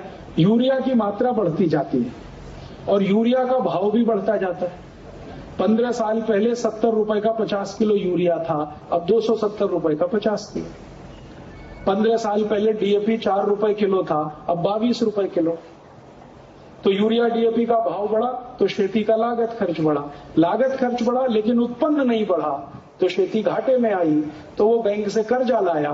कर्जे पर चौदह टका का ब्याज भरना है, और वो भी चक्रवर्ती ब्याज भरना है कंपाउंड इंटरेस्ट और कभी अतिवृष्टि, अनावृष्टि हो गई तो हाथ में शेतकरी के कुछ नहीं है। तो बैंक वाले आके खड़े हैं कि लाओ पैसा वापस तो अपनी इज़्ज़त बचाने के लिए जहर पीता है और आत्महत्या कर लेता है। हर साल भारत में छप्पन हज़ार शेतकरी आत्महत्या करते हैं। हर साल। महाराष्ट्र उसमें हाईएस्ट। पिछले साल महाराष्ट्र में आठ सौ छप्पन शेतकरी ने आत्महत्या किया। आंध्र में लगभग साढ़े सात सौ है। संपूर्ण भारत में छप्पन हज़ार। और इस साल भी यही हाल है। तो शेतकरी को आत्महत्या से अगर बाहर निकालना है और खेती को केंद्र बिंदु मानकर कुछ कराना है तो उसका एक ही उपाय है, गाय का शेण और गाय का मूत्र। यूरिया डीएपी से खेती करके शेतकरी ज़िंदा नहीं रह सकता। क्योंकि यूरिया डीएपी से खेती करने से खर्चा इतना बढ़ता है एक हेक्टेयर का खर्चा पंद्रह साल पहले मेरे घर में डेढ़ हज़ार रुपए आता था। लागत खर्च कॉस्ट ऑफ़ प्रोडक्शन अब वही एक हेक्टेयर का खर्चा चौदह हज़ार रुपए ये साल में आता है। एक हेक्टेयर में पहले मुझको बारह क्विंटल कापूस आती थी और पच्चीस सौ रुपए क्विंटल के भाव में मैं बेचता था तो मुझे लाभ होता था। अब इस साल एक हेक्टेयर में तीन, साढ़े तीन क्विंटल कापूस आई है और भाव उसको सत्रह सौ रुपए क्विंटल है। मेरे जैसे शेतकरी सिर पीट रहे हैं, अपना क्या करें? इसलिए हमने सुप्रीम कोर्ट को कहा कि अगर भारत के शेतकरी को आत्महत्या के दुष्चक्र से निकालना हो तो एक ही रास्ता है गाय का शेण और गोमूत्र। क्योंकि एक किलो शेण है तो तैतीस किलो खत बनता है। और गाय के शेण को उपयोग करें तो एक एकड़ में आठ क्विंटल कापूस मिलता है। गाय के शेण को उपयोग करें तो एक एकड़ में 25 क्विंटल गेहूँ मिलता है। गाय के शेण का उपयोग करें तो एक एकड़ में 70 से 80 टन ऊस मिलता है। गाय के शेण का उपयोग करें तो एक एकड़ में 19 से 20 क्विंटल तुअर की दाल मिलती है। गाय का शेण उत्पन्न करें तो एक एकड़ में रोज लगभग 50 से 60 किलो भाजी पाला टूटता है। गाय का शेण उपयोग करें तो एक एकड़ में 33 कुंटल धान आता है। माने हर चीज़ पीक ज़्यादा लेना हो तो गाय का शेण क्योंकि गाय के शेण में वो सभी माइक्रो न्यूट्रिएंट्स हैं जो भूमि को चाहिए। यूरिया डीएपी में सिर्फ़ तीन है, नाइट्रोजन, फॉस्फोरस, पोटाश। गाय के शरीर में सत्रह तो ये बात समझ में आ गई कोर्ट को। फिर उन्होंने एक्सपर्ट्स को बुलाया। एक्सपर्ट्स ने भी कहा कि यही बात तो फिर डिसीज़न देने में उन्होंने देर नहीं किया और ये डिसीज़न आ गया। अब डिसीज़न ये कहता है जजमेंट ये है कि गाय का कत्ल नहीं होना चाहिए। और दूसरा जजमेंट का पार्ट है कि भारत की सभी राज्यों की सरकार को इसकी ज़िम्मेदारी लेनी है कि उनके राज्य में गाय का कत्ल नहीं हो। और जजमेंट का तीसरा पार्ट है कि भारत का हर नागरिक जिसको संविधान से अधिकार है नागरिकता का, अब उसकी जवाबदारी है कि वो गोरक्षा करे। और आपको सुनकर आश्चर्य होगा कि ये पहला जजमेंट है सुप्रीम कोर्ट का, जिसमें कोर्ट ने कहा है कि भारत के नागरिक को गाय बचाने की ज़िम्मेदारी लेनी है। सरकार को तो लेनी है, नागरिकों को भी। लेनी माने आप सब इससे बंधे हुए हैं, मैं और आप। अब मैं आपसे कहने आया हूँ वो ये कि जजमेंट तो आ गया है, आपको गाय बचानी है, मुझे भी गाय बचानी है। अब ये गाय बचाने का रास्ता क्या है? इसके दो रास्ते हैं। पहला रास्ता ये है कि आप अपने राज्य की सरकार पर दबाव डालिए कि जल्दी से गोरक्षा का कानून बनाए और महाराष्ट्र में लागू करें और एक भी कतल खाने में गाय ना कटे। ये ज़िम्मेदारी अब आपकी है। इसके लिए क्या करना है? आपके मुख्यमंत्री विलासराव देशमुख जी को हज़ारों की संख्या में पत्र भेजिए, मेमोरेंडम दीजिए, निवेदन करिए। और उनको एक ही बात पूछिए कि आपको भूतपूर्व होना है कि अभूतपूर्व?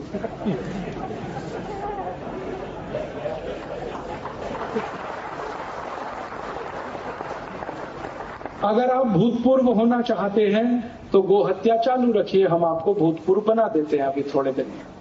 और अगर अभूतपूर्व होना चाहते हैं तो गो रक्षा का कानून पारित कर दीजिए विधानसभा। और महाराष्ट्र में ये आसानी से होगा। क्यों? क्योंकि महाराष्ट्र को तो विधानसभा में पारित करने का कुछ ज़रूरत नहीं है। पारित हो चुका है।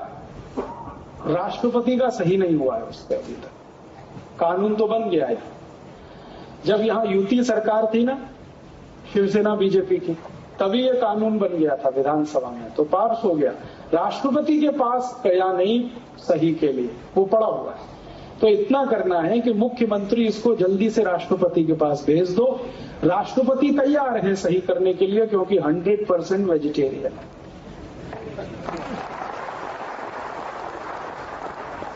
भारत में मुस्लिम राष्ट्रपति है और 100 टका शाकाहारी है।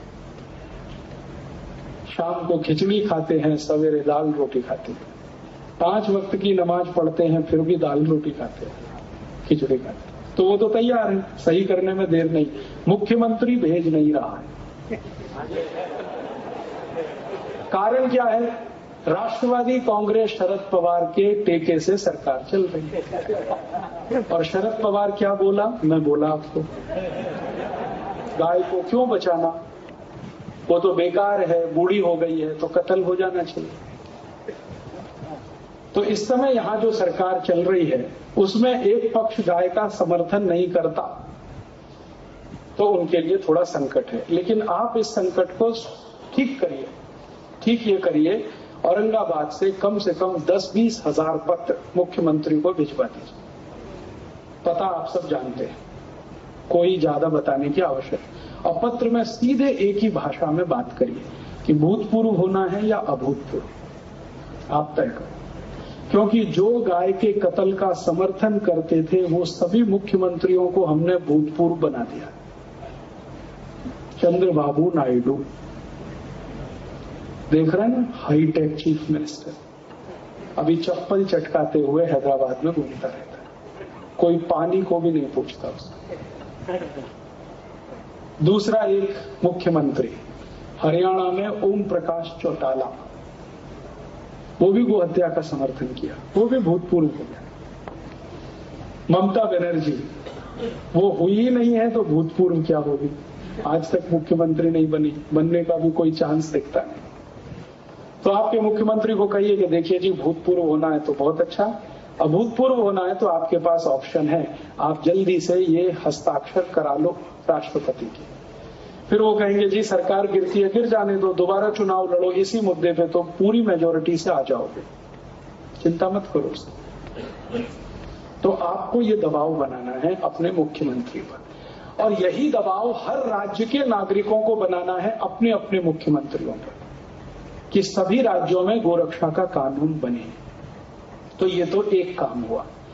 और इसको आप करेंगे सब मिलकर, ऐसा मेरी अपेक्षा है। आप अगर किसी संस्था में हैं तो संस्था की तरफ़ से करें व्यक्तिगत रूप से भी करें। कोई संस्था के लेटर हेड पर हस्ताक्षर के साथ भेजें 100, 200, 500 हस्ताक्षर के साथ के ये करो। व्यक्तिगत पत्र भी भेजें ईमेल करें फैक्स करें जो कर सकते हैं करें। दूसरा एक काम इससे भी बड़ा करना वो ये कि गाय कटती तब है जब वो बाज़ार में बिकती है। और गाय काटने वाले तो कुरैशी हैं, पालने वाले तो सब हिंदू हैं।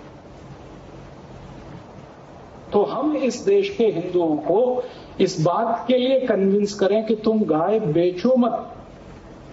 कटेगी नहीं। तो कहता है, जी, गाय इसलिए बेचनी पड़ती है कि वो दूध नहीं देती, वही कुतर। तो उसको समझाना है कि भले दूध नहीं देती, मूत्र तो देती है शेण तो देती है और उसके शेण और मूत्र से लाखों रुपए की आमंदनी है, तुम क्यों परेशान हो दूध के लिए? गाय तो मुख्य रूप से शेण और मूत्र के लिए पालो, दूध तो बोनस है।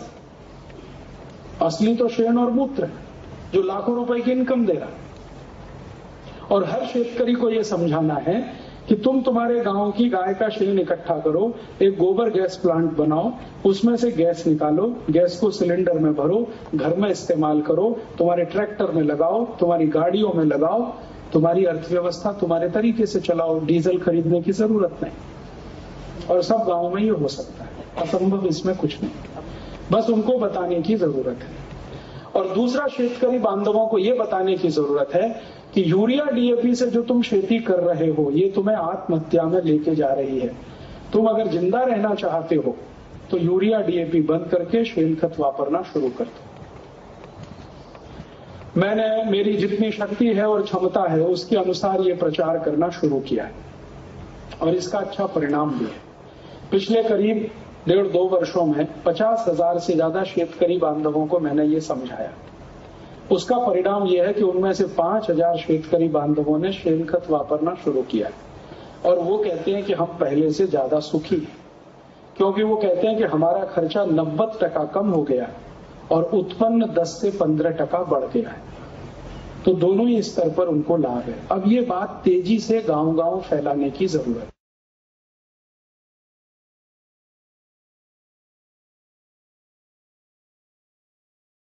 होता है तो फिर गुणगान शुरू करते हैं। ओ, गाय माता है, बहुत अच्छी है।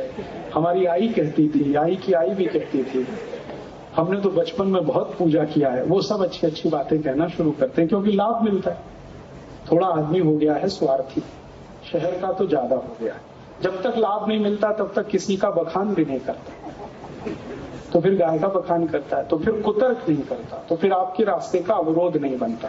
तो आप उसकी डायबिटीज़ ठीक करते जाओ। इलाज मैंने बता दिया, सवेरे 25 मिलीग्राम गोमूत्र पीना है और एक तास के बाद मेथी दाने को रात में पानी में डालकर सवेरे वो पानी पी के और एक पीछे से मेथी दाना खाना है। तो इससे diabetes complete cure complete cure शब्द बात कर रहा हूँ मैं।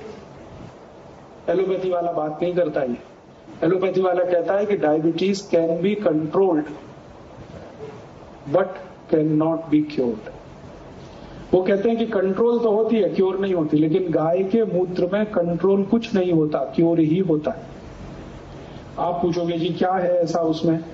गाय के मूत्र में वो केमिकल हैं जो आपके शरीर के इंसुलिन की मात्रा को बढ़ाते हैं इंसुलिन को एक्टिवेट करते हैं पैनक्रियास को एक्टिवेट करते हैं। वो गोमूत्र में है और भगवान का दिया हुआ है। तो इसलिए ये होता है। और मैंने तो डायबिटीज़ बोला इसलिए क्योंकि बहुत लोग पीड़ित हैं। ऐसा कोई भी रोग मिले आपको, अस्थमा है, अस्थमा। उनको बोलो कि गाय का मूत्र पियो सवेरे 25 मिलीग्राम और पीछे से एक घंटे बाद दाल, चीनी का पाउडर गर्म पानी के साथ लो तो अस्थमा भी ठीक। महीने, सवा महीने। ब्रोंकियल अस्थमा भी ठीक। ट्यूबरकुलोसिस चार महीने में ठीक। फिर कोई कहेगा कि हमको और भी कुछ बीमारी है मूल व्याध है, बवासीर है भगंदर है, उसको कहो कि सवेरे गाय का मूत्र पियो 25 मिलीग्राम। और एक डेढ़ घंटे के बाद कपूर खा लो, केले में डाल के। केला है ना? केले को छीलो बीच में कपूर डालो और केला खा जाओ। तो मुश्किल से पंद्रह बीस दिन लगता है मूल व्याध बवासीर बगंदर ठीक। फिर कोई कहता है, जी, मुझको तो बहुत गंभीर बीमारी है, खून नहीं बनता। तो उनसे कहो कि गाय का मूत्र पियो सवेरे सवेरे। और रात को गाय के दूध में गाय का तूप मिला के पियो तो खूब खून बनेगा। हीमोग्लोबिन बहुत तेज़ी से बढ़ेगा। फिर कोई कहेगा, मुझे नींद नहीं आती रात को। तो उससे कहो कि, गाय का मूत्र पियो और मेथी दाने का पानी। दोनों से बहुत अच्छी नींद आती है।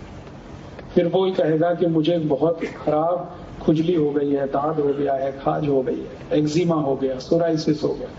उसको कहो कि गाय के मूत्र की मालिश करो और सवेरे मेथी दाने का पानी पियो। मेथी दाने के पानी के साथ कड़ू लिप के पान का पानी पी लो तो और जल्दी ठीक हो।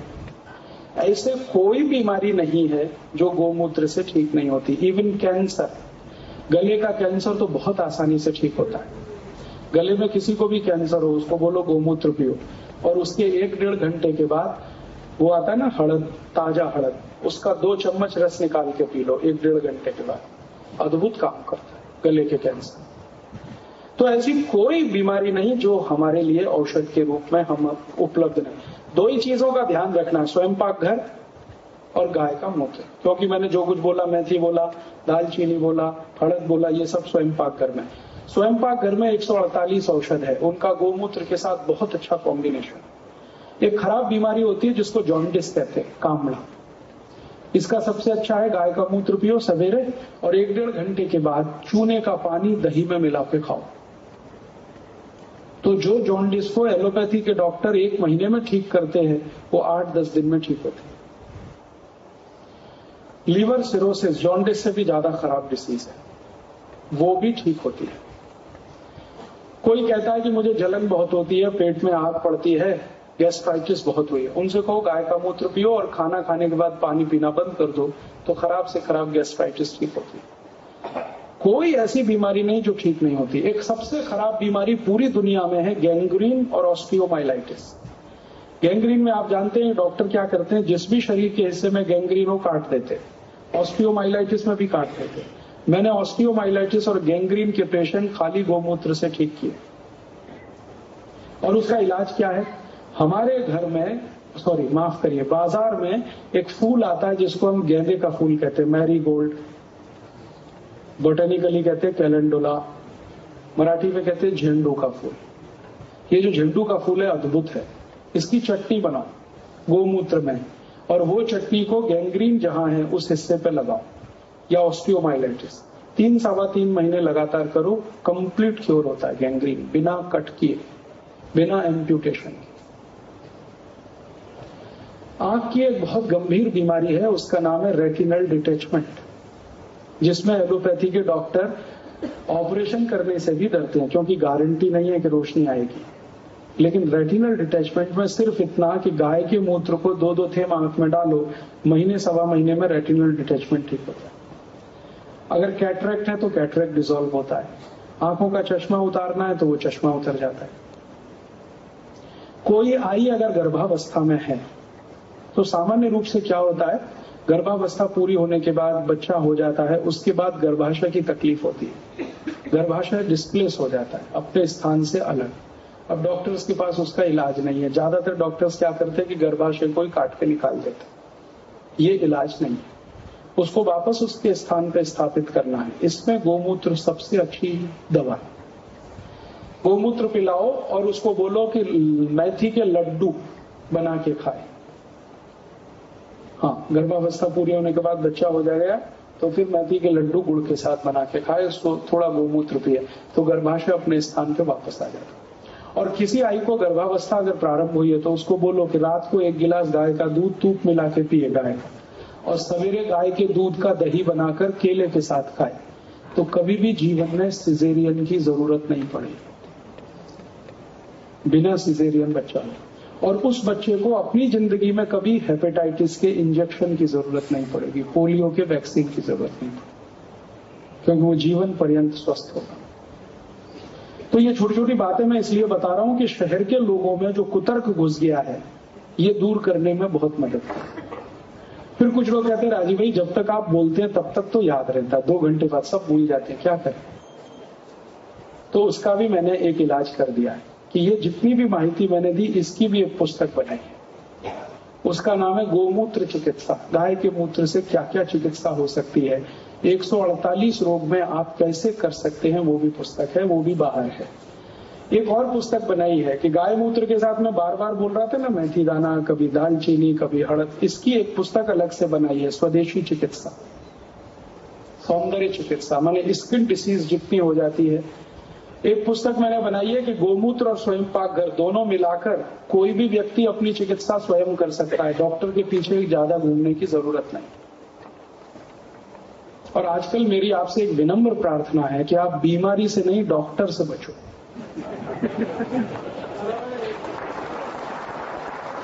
बीमारी खराब नहीं, डॉक्टर तकलीफ़ दे। कैसी कैसी तकलीफें देते हैं।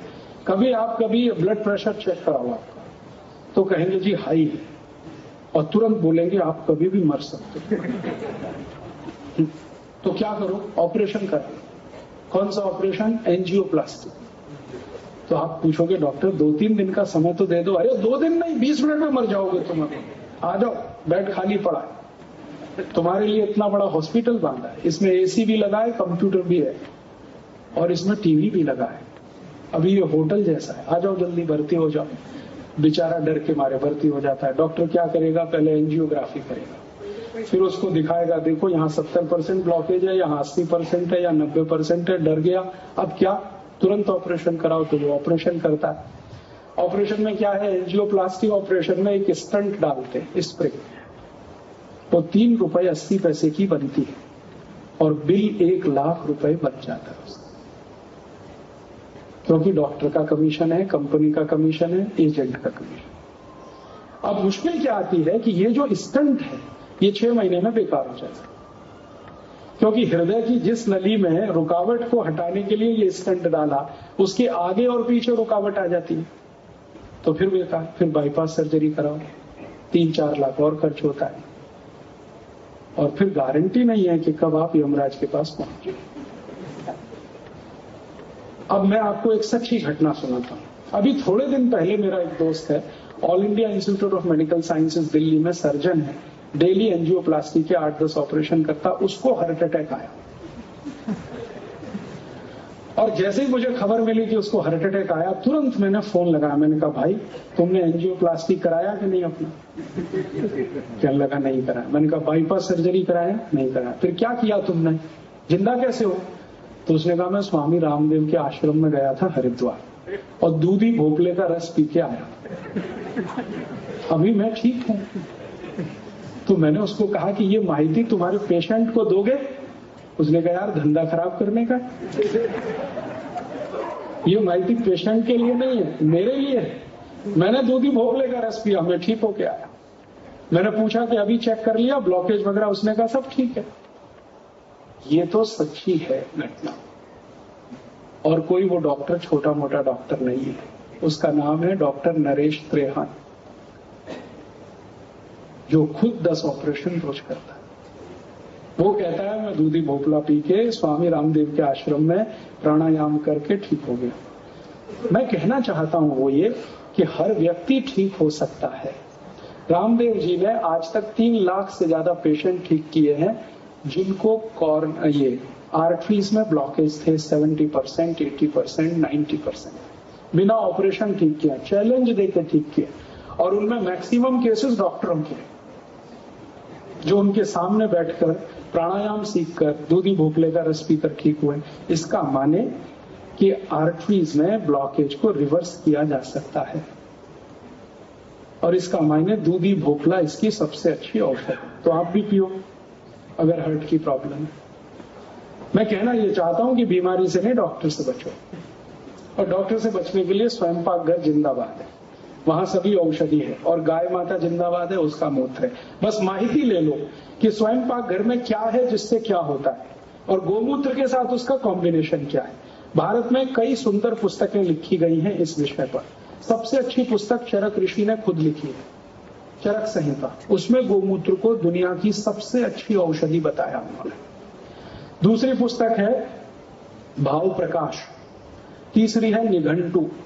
और एक बहुत अच्छी पुस्तक है, अष्टांग हृदय।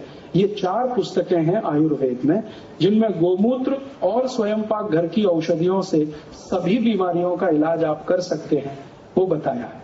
अब इन पुस्तकों को पढ़ने की एक ही तकलीफ़ है कि संस्कृत आनी चाहिए, क्योंकि ये संस्कृत में अभी तो वैसे इनमें से एक दो पुस्तक है, मराठी में भाषांतर हुई है, लेकिन मूल पढ़ना हो तो संस्कृत में। संस्कृत आती नहीं हमको। हमने कभी सीखी भी नहीं। अंग्रेज़ी सीख लिया, जिससे कोई ज्ञान नहीं मिलता। और दुनिया की सबसे रद्दी भाषा है। जो बोलते हैं, वो लिखते नहीं, जो लिखते हैं, वो बोलते नहीं। अंग्रेज़ी में एक शब्द है, सुनामी। कैसे लिखते हैं? T S U N M I बोलते क्यों नहीं? T tsunami T tsunami T tsunami. कहते जी, टी साइलेंट है तो लगाया क्यों? हटा दो एक शब्द है किचन के I T C H E L कहते नहीं नहीं, किचन किचन किचन। फिर के आई टी क्यों लिख रहे हो? टी साइलेंट है, क्यों लगाया? हटा दो। ऐसी मूर्खता की भाषा। पीयूटी पुट तो ब्यूटी बुट और ब्यूटी बट तो पीयूटी पट कुछ लॉजिक है इस विचित्र भाषा है और लोग लगे हैं इसको बोलने। कभी कभी तो बिना सोचे समझे बोलते हैं। कुछ पढ़े लिखे लोगों के घर में जाता हूँ कहते हो तो, Rajiv Dixit she is my Mrs मैं पूछता हूँ रियली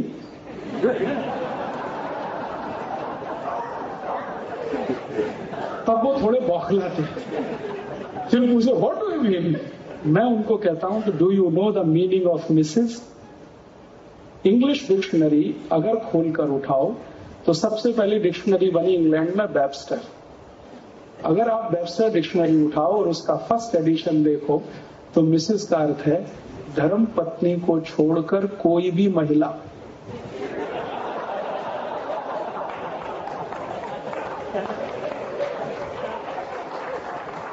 वो मिसेज होती।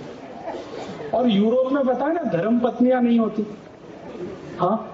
क्योंकि सत्तर प्रतिशत यूरोपियन तो शादी ही नहीं करते, बिना शादी के रहते। वो एक शब्द उन्होंने बनाया लिव इन रिलेशनशिप जिसमें शादी नहीं होती तो धर्म पत्नी नहीं होती तो वो सब मिसेज होती। हाँ मिसेज का ये मतलब। और मिस्टर उसका वाइसी वर्षा पति को छोड़कर कोई भी पुरुष, वो मिस्टर होता है। और हम लगे हैं अपनी श्रीमती को मिसेस बनाने मिसेस तब मैं पूछता हूँ really she is your Mrs तो वो बौखलाते बिना जाने अंग्रेज़ी का इस्तेमाल मत करो। अच्छी भाषा नहीं है। कुछ तो इतनी समस्याएँ हैं अंग्रेज़ी में, जैसे संबंध relationship father in law mother in law brother in law sister in law माने संबंध भी बाई लॉ कानून से सब संबंध है। क्या चक्कर क्या है? Father in law mother in law मैंने इसकी हिस्ट्री पढ़ी तो बहुत इंटरेस्टिंग है। हिस्ट्री ये है कि इंग्लैंड में यूरोप में 1500-1600 साल एक परंपरा रही है जिसमें कोई साधारण व्यक्ति शादी नहीं कर सकता था। बिना राजा की अनुमति के। राजा की अनुमति मिले तो शादी होती थी। बिना अनुमति आप शादी नहीं कर सकते। तो जानते हैं क्या हुआ इसमें? कि राजा की अनुमति के बिना शादी करवाने का काम एक व्यक्ति ने किया, उसका नाम था वेलेंटाइन। रोम में एक वेलेंटाइन नाम का पादरी था, चर्च में काम करता था। उसने एक अभियान चलाया कि मैं शादी कराऊँगा बिना राजा की अनुमति के। तो जिस दिन राजा को पता चला, राजा था उस समय क्लॉडियस रोम का तो उसने क्या किया कि वेलेंटाइन को फांसी दे दिया। मृत्यु दंड और 14 फरवरी सन चार सौ अट्ठानवे को उसको फांसी हुई। तो उस वैलेंटाइन की याद में उन लोगों ने वैलेंटाइन डे मनाना शुरू किया जिनकी शादियाँ उसने कराई थी। वेलेंटाइन। अब हम पागलों की तरह से वेलेंटाइन डे मनाए बिना सोचे समझे। क्योंकि हमारे यहाँ कोई राजा ऐसा नहीं हुआ जिसने शादी करने पे पाबंदी लगाई हो। यहाँ तो उल्टा है, एक नहीं, दो दो करो, तीन तीन करो, चार चार करो। तो हमें वैलेंटाइन डे मनाने की ज़रूरत नहीं। और उनके यहाँ क्या होता था कि राजा की अनुमति से शादी होती थी, इसलिए सारे रिश्ते by law father in law mother in law brother in law ऐसा है चक्कर अंग्रेज़ी का। अब हम उसकी नकल करें तो कितनी मूर्खता बड़ा विचित्र है ये अंग्रेज़ी का साम्राज्य। मैं किसी के घर में जाता हूँ, पता चला पिताजी का नाम रामदयाल माता जी का नाम गायत्री देवी, बेटे का नाम टिंकू। अरे राम रामदयाल गायत्री देवी का टिंकू कहाँ से आ गया? टिंकू, पिंकू, बबली, डबली, ट्विंकल ट्विंकल, पता नहीं क्या क्या विचित्र विचित्र नाम रखते हैं। अपने नाम बहुत अच्छे हैं मराठी में, हिंदी में, संस्कृत में। क्यों आप ये टिंकू, पिंकू में फंस? और टिंकू का अर्थ जान लो पहले, फिर करो। वेबस्टर डिक्शनरी में टिंकू का मतलब है आवारा लड़का। जो बाप की भी ना सुने, माँ की ना सुने, वो टिंकू होता है। तो बनाने का है तो बोलो, टिंकू टिंकू थोड़े दिन में हो जाएगा। तो ये अंग्रेज़ी में हम फंस गए बेकार। कुछ फालतू में, कुछ काम भी नहीं है उसमें। कहते हैं दुनिया का ज्ञान है, कुछ ज्ञान ज्ञान नहीं है अंग्रेज़ी। अंग्रेज़ी तो वैसे ही खिचड़ी है। थोड़ा उन्होंने जर्मन से लिया, थोड़ा फ्रेंच से लिया, थोड़ा इटालियन से लिया, थोड़ा डच में से लिया, थोड़ा रशियन से ले लिया, थोड़ा यहाँ से, थोड़ा वहाँ से तो खिचड़ी बना के अंग्रेज़ी पेश कर दी। और चूँकि ये खिचड़ी है, इसलिए इसके लॉजिक बहुत विचित्र हैं। पीयूटी पट ब्यूटी बुट या ब्यूटी बट ब्यूटी पुट ये सब इसलिए चक्कर है। अंग्रेज़ी का ग्रामर दुनिया में सबसे खराब है। और आप जानते हैं, दुनिया की जितनी अंतर्राष्ट्रीय संस्थाएँ हैं, संयुक्त राष्ट्र संघ को जोड़कर कोई अंग्रेज़ी में काम नहीं करती, सब फ्रेंच में काम करती हमने फालतू एक फोबिया बना रखा है कि अंग्रेज़ी के बिना दुनिया नहीं चलती। दुनिया में 200 देश हैं, जिनमें से सात देशों में सिर्फ़ अंग्रेज़ी चलती है, बाकी कहीं नहीं चलती। और वो भी सात देश इसलिए कि अंग्रेज़ों के गुलाम थे। अभी तक छोड़ नहीं पाए उस अंग्रेज़ी। उन सात देशों में तीन तो अपने ही है, भारत, पाकिस्तान, बांग्लादेश। और बाकी है अमेरिका, कनाडा और ब्रिटेन। बाकी किसी देश में नहीं। सभी देशों की अपनी भाषाएँ फ्रांस में फ्रेंच है, जर्मनी में जर्मन है, इटली में इटालियन है, स्वीडन में स्वीडिश है। सब जगह अपनी भाषा, रूस में रशियन है। और आप जानते हैं, रूस का राष्ट्रपति अंग्रेज़ी जानता बोलता नहीं। चीन का राष्ट्रपति अंग्रेज़ी जानता बोलता नहीं। जापान का प्रधानमंत्री अंग्रेज़ी जानता है बोलता नहीं। जब भी भारत आते हैं, अपने देश की भाषा में बात करके हम तो समझते नहीं। तो वो कहते this is your problem not mind वो कहते आप तुम्हारी समस्या हल करो, मैं नहीं बोलता अंग्रेज़ी में। तुमको मेरी भाषा समझनी है दो भाषिया लेके बैठो, समझो उसको। ये हमेशा होता है।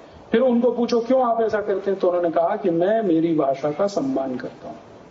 इसलिए मैं मातृभाषा में बात करता हूँ। हमको मातृभाषा बोलने में क्या तकलीफ़ है? बोलो मराठी। गुजराती, तमिल, तेलुगु, कन्नड़, मलयालम। और ये सब भाषा अंग्रेज़ी से अच्छी है। क्योंकि भाषा अच्छी वो मानी जाती है जिसमें शब्दों की संख्या बहुत हो। अंग्रेज़ी में शब्द बहुत ही उदाहरण के लिए सूर्य। क्या शब्द है? सन। एक ही है ना? एस यू एन दूसरा कोई है? दूसरा है कोई इक्विवेलेंट सन का? नहीं। मराठी में सूर्य के बारह शब्द हैं। दिनकर, दिवाकर, रवि, भास्कर, मारतंड क्या क्या शब्द। संस्कृत में भी वही है मराठी में मून, चंद्रमा, एक ही है अंग्रेज़ी।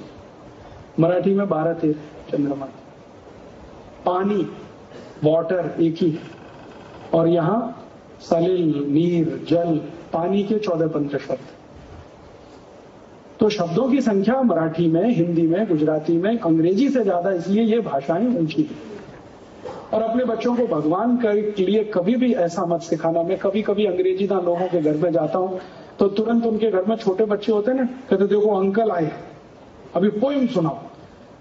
तो उनके यहाँ चालू हो जाती है टेप रिकॉर्डर की तरह से। Rain rain go away come again another day little way we wants to play मैं पूछता हूँ, क्या बोल रहे हो? सत्यानाश कराना है देश का? Rain rain go away come again another day अगर सुन लिया भगवान ने तो क्या होगा? बारिश तुम चली जाओ, कभी भी मत आओ, क्योंकि मुझको खेलने का है। अगर बारिश नहीं हुई तो सूखा पड़ेगा, शेतकरी मरेगा, तुम भी मरोगे। बिना अक्कल के रेन रेन को अवे सिखा। तो फिर पूछते, क्या सिखाए तो सिखाओ, ये रे ये रे पाउसा तुला दे तो पैसा पैसा झाला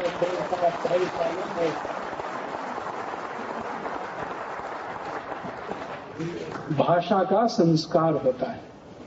तो मराठी में संस्कार है, ये रे ये रे पाउसा अंग्रेज़ी में है, रेन रेन, गो अब तय करो क्या लाना है। इसलिए भाषा अपनी सीखो, और समय बचे तो संस्कृत ज़रूर सीखो, जिसमें ये सारा ज्ञान है। वेद, उपनिषद, आयुर्वेद सब संस्कृत में है। थोड़ा सीख लो, बहुत ज्ञान है। और वो ज्ञान आपके भी काम आएगा, देश के भी काम है उसी संस्कृत की मदद से मैंने थोड़ा ज्ञान लिया है। भाव प्रकाश पढ़ा, निघंटू पढ़ा फिर ये पढ़ा, अष्टांग हृदय और इसके आधार पर पाँच छह किताबें बना दिया। वो बाहर हैं, हिंदी में है, मराठी में है। आप ले जाओ, पढ़ो, पढ़ाओ। मैंने आपसे कहा, मेरा कोई कॉपीराइट किसी पर नहीं है। आपकी इच्छा हो तो अपने नाम से प्रकाशित करो, संस्था के नाम से बनाओ। मैं सिर्फ़ इतना चाहता हूँ कि गाँव गाँव इसका प्रचार हो तो गाय की हत्या तुरंत रुके। क्योंकि जैसे जैसे ये प्रचार होगा, गाय मूत्र से ये बीमारी ठीक होती है, ये बीमारी ठीक होती है, गाय के शेम से ऐसा होता है, फिर कोई शेतकरी गाय नहीं बेचेगा। भले दूध ना दे तो भी गाय को पाल के रखेगा। और जिस दिन ये हो गया, उस दिन सब कसाईयों को धंधा बदलना पड़ेगा। तो एक काम तो हम सरकार की मदद से करें, और एक काम हम स्वयं करें। जो स्वयं करेंगे, वो टिकने वाला है। क्योंकि सरकार का कानून पता नहीं कब बदल जाए। अगली कोई सरकार आए, उसका उल्टा कानून बना दे। सरकारों का तो कोई भरोसा नहीं ना। लेकिन जो समाज करेगा, वो टिक जाएगा। तो हमको ये अभियान चलाना है गोरक्षा का। और इसी अभियान के लिए थोड़ा थोड़ा सा अपने जीवन का समय दान करना है। और वो समय दान करके आप, मैं सब मिलके लगे तो ज़रूर अगले चार पाँच साल में ये देश की तासीर बदल जाएगी। और एक भी गाय कतल होने नहीं जाएगी। फिर मैं कल्पना करता हूँ कि अगर गाय की संख्या बढ़े तो क्या होगा? मैंने एक दिन हिसाब लगाया, अभी सत्रह करोड़ गाय है इस समय। चौतीस कोटि हो जाए। जब भारत आज़ाद हुआ था तो सामान्य रूप से भारत में एक मनुष्य पर एक गाय थी। चौतीस कोटि हमारी लोक संख्या थी और लगभग चौतीस कोटि ही गाय थी। लेकिन आज़ादी के 60 साल में 17 कोटि गाय कम हो गई। अब सिर्फ़ 17 कोटि। दुनिया में हमसे अच्छे कई देश हैं, जहाँ गायों की संख्या मनुष्यों से ज़्यादा है। न्यूजीलैंड डेनमार्क, स्वीडन, ये तीनों देश में गाय की संख्या मनुष्यों से ज़्यादा है। ऑस्ट्रेलिया में गाय की संख्या मनुष्यों की संख्या बराबर है। तो मैं उन सब पुढ़ारियों को कहना चाहता हूँ कि जिन देशों में गाय की संख्या मनुष्यों से ज़्यादा, वो कैसे ज़िंदा है? ऑस्ट्रेलिया कैसे ज़िंदा है? न्यूजीलैंड कैसे ज़िंदा है? डेनमार्क कैसे ज़िंदा है? नॉर्वे कैसे ज़िंदा है? अगर ये देश ज़िंदा है तो हम भी रहने वाले चिंता की क्या बात है? तो गाय की संख्या बढ़े तो चिंता मत करो, परेशानी उसमें नहीं आने वाली। क्योंकि भगवान ने कुछ ऐसा गाय को वरदान दिया है कि वो जहाँ जाएगी, अपनी व्यवस्था खुद कर लेगी और उसके साथ समृद्धि ज़रूर जाएगी। और भारत में गाय का महत्व तो तो इतना ऊँचा रहा है। एक राजा दिलीप की कहानी मैंने बचपन में सुनी थी। रामचंद्र जी के वंशज थे। गाय के पीछे पीछे घूमते थे। उनकी एक गाय थी कपिला। वो जहाँ जाती थी, दिलीप उसके पीछे जाते थे। राज्य उन्होंने मंत्रियों को सौंप रखा था, वो गाय की सेवा में लगे रहते थे। एक बार जंगल में गाय के सामने शेर आ गया और शेर ने तय किया कि इसको खाएँगे गाय। तो राजा दिलीप ने कहा कि गाय को छोड़ दो, मुझे खा लो। इतनी ऊँची मान्यता गाय के लिए है। मैंने हिंदुस्तान में अभी एक गाँव देखा, दो गाँव देखे, लगभग आठ दिन पहले, नहीं, अभी पाँच दिन पहले की घटना कर्नाटक में एक गाँव है हावेरी ज़िले में, बेड़गी तालुका में। उस गाँव में एक बहुत बड़ा मठ है 400 साल पुराना, उस मठ की मुख्य मठाधिपति गाय है। और 400 साल से ये चल रहा है। मैंने उस गाँव के नागरिकों को पूछा कि आपने मठाधिपति गाय को क्यों बनाया? तो उसने कहा, मनुष्य में वो गुण नहीं है। गाय में है। इसलिए हमने मठाधिपति बनाया। मैंने पूछा, इसमें क्या गुण है? उन्होंने कहा, जो संत में गुण है, वो सब इस गाय में है। वो गाय कैसी है? गाँव में किसी की भी मृत्यु हो जाए तो सबसे पहले शव यात्रा में आगे आगे वो गाय जाती है। और जब उसका अंतिम संस्कार होता है व्यक्ति का, तब तक वहीं पर बैठती है। मनुष्य तो भाग आते हैं वहाँ से। आग लगाई और भाग ली। वो गाय वहीं बैठती है। तीन साढ़े तीन घंटे जब तक पूरी चिता दहन नहीं होती, वहीं बैठती है। फिर चिता दहन होने के बाद वो नदी में जाके स्नान करती है। उसके बाद भोजन ग्रहण करती है। वो गाय ऐसी। तो गाँव वाले कहते हैं कि इसमें जो गुण है, वो किसी मनुष्य में नहीं। ऐसी गाय इस देश में पता नहीं कितनी मुझे तो एक पता चला, पता नहीं कितनी होंगी। तो गाय की जो मान्यता है, वो बहुत ऊँची है इस देश में। और उस मान्यता को अगर बचाकर रखना है तो गाय की रक्षा करनी है। रक्षा करने के लिए हमें थोड़ा प्रयास करना है अपने जीवन में। और एक प्रयास सरकार के स्तर पर, दूसरा व्यक्ति के स्तर पर। व्यक्ति के स्तर पर छोटे छोटे दो काम, के शेतकरी बांधवों को ये बताएँ कि शेन कब से गोमूत्र से खेती करो। शहर में रहने वालों को बताएँ कि गोमूत्र से चिकित्सा करो। चिकित्सा और खेती विषय में जितनी पुस्तकें आपको लगेंगी, वो सब बना दिया है मैंने, आप ले लो। और इस विषय पे 40 घंटे की एक सीडी भी बनाई है मैंने ऑडियो सीडी। वो आप सुन सकते हो। 40 घंटे के व्याख्यान उसमें है, इन सभी विषयों का। छह घंटे की वीडियो सीडी भी है, वो भी आप सुन सकते हो। सुन के दूसरों को सुना सकते हो, कॉपी करके दूसरों को दे सकते हो। करना है ये काम। और अगले चार पाँच साल में इस देश को ये कलंक से मुक्त कराना है कि यहाँ गाय कटती है। भारत में ये कलंक मिट जाना चाहिए कि यहाँ गाय कटती है। और अगर ये हो गया तो मंगल पांडे की आत्मा को सच्ची श्रद्धांजलि हम देंगे। और मंगल पांडे जैसे उन लाखों के अंतवीरों को श्रद्धांजलि देंगे, जिन्होंने गाय के लिए अपना जीवन होम किया और मैं आपको विनम्रता पूर्वक कहता हूँ कि इस कार्य में आपको सभी साधु संतों का आशीर्वाद मिलेगा।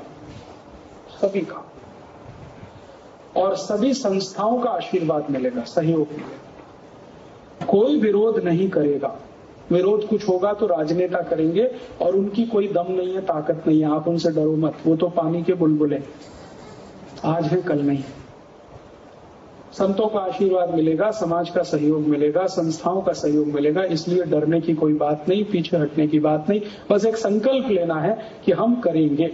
और करने के लिए थोड़ा समय मैनेजमेंट करना है। सप्ताह में एक दिन, एक घंटे इस काम के लिए देना है। ज़्यादा हो तो सप्ताह में दो दिन, दो घंटे इस काम के लिए देना है। किसी को भी मिलकर इन सब बातों से कन्विंस करा के उसको इसमें जोड़ लेना तो इस तरह का आप अभियान चलाएँ, ऐसी अपेक्षा लेकर मैं आया। अगर ये पूरी होगी तो मुझे बहुत खुशी होगी और दूसरों को आप प्रेरित करें इसको पूरा करने में तो और ज़्यादा खुशी होगी। आभार, बहुत धन्यवाद।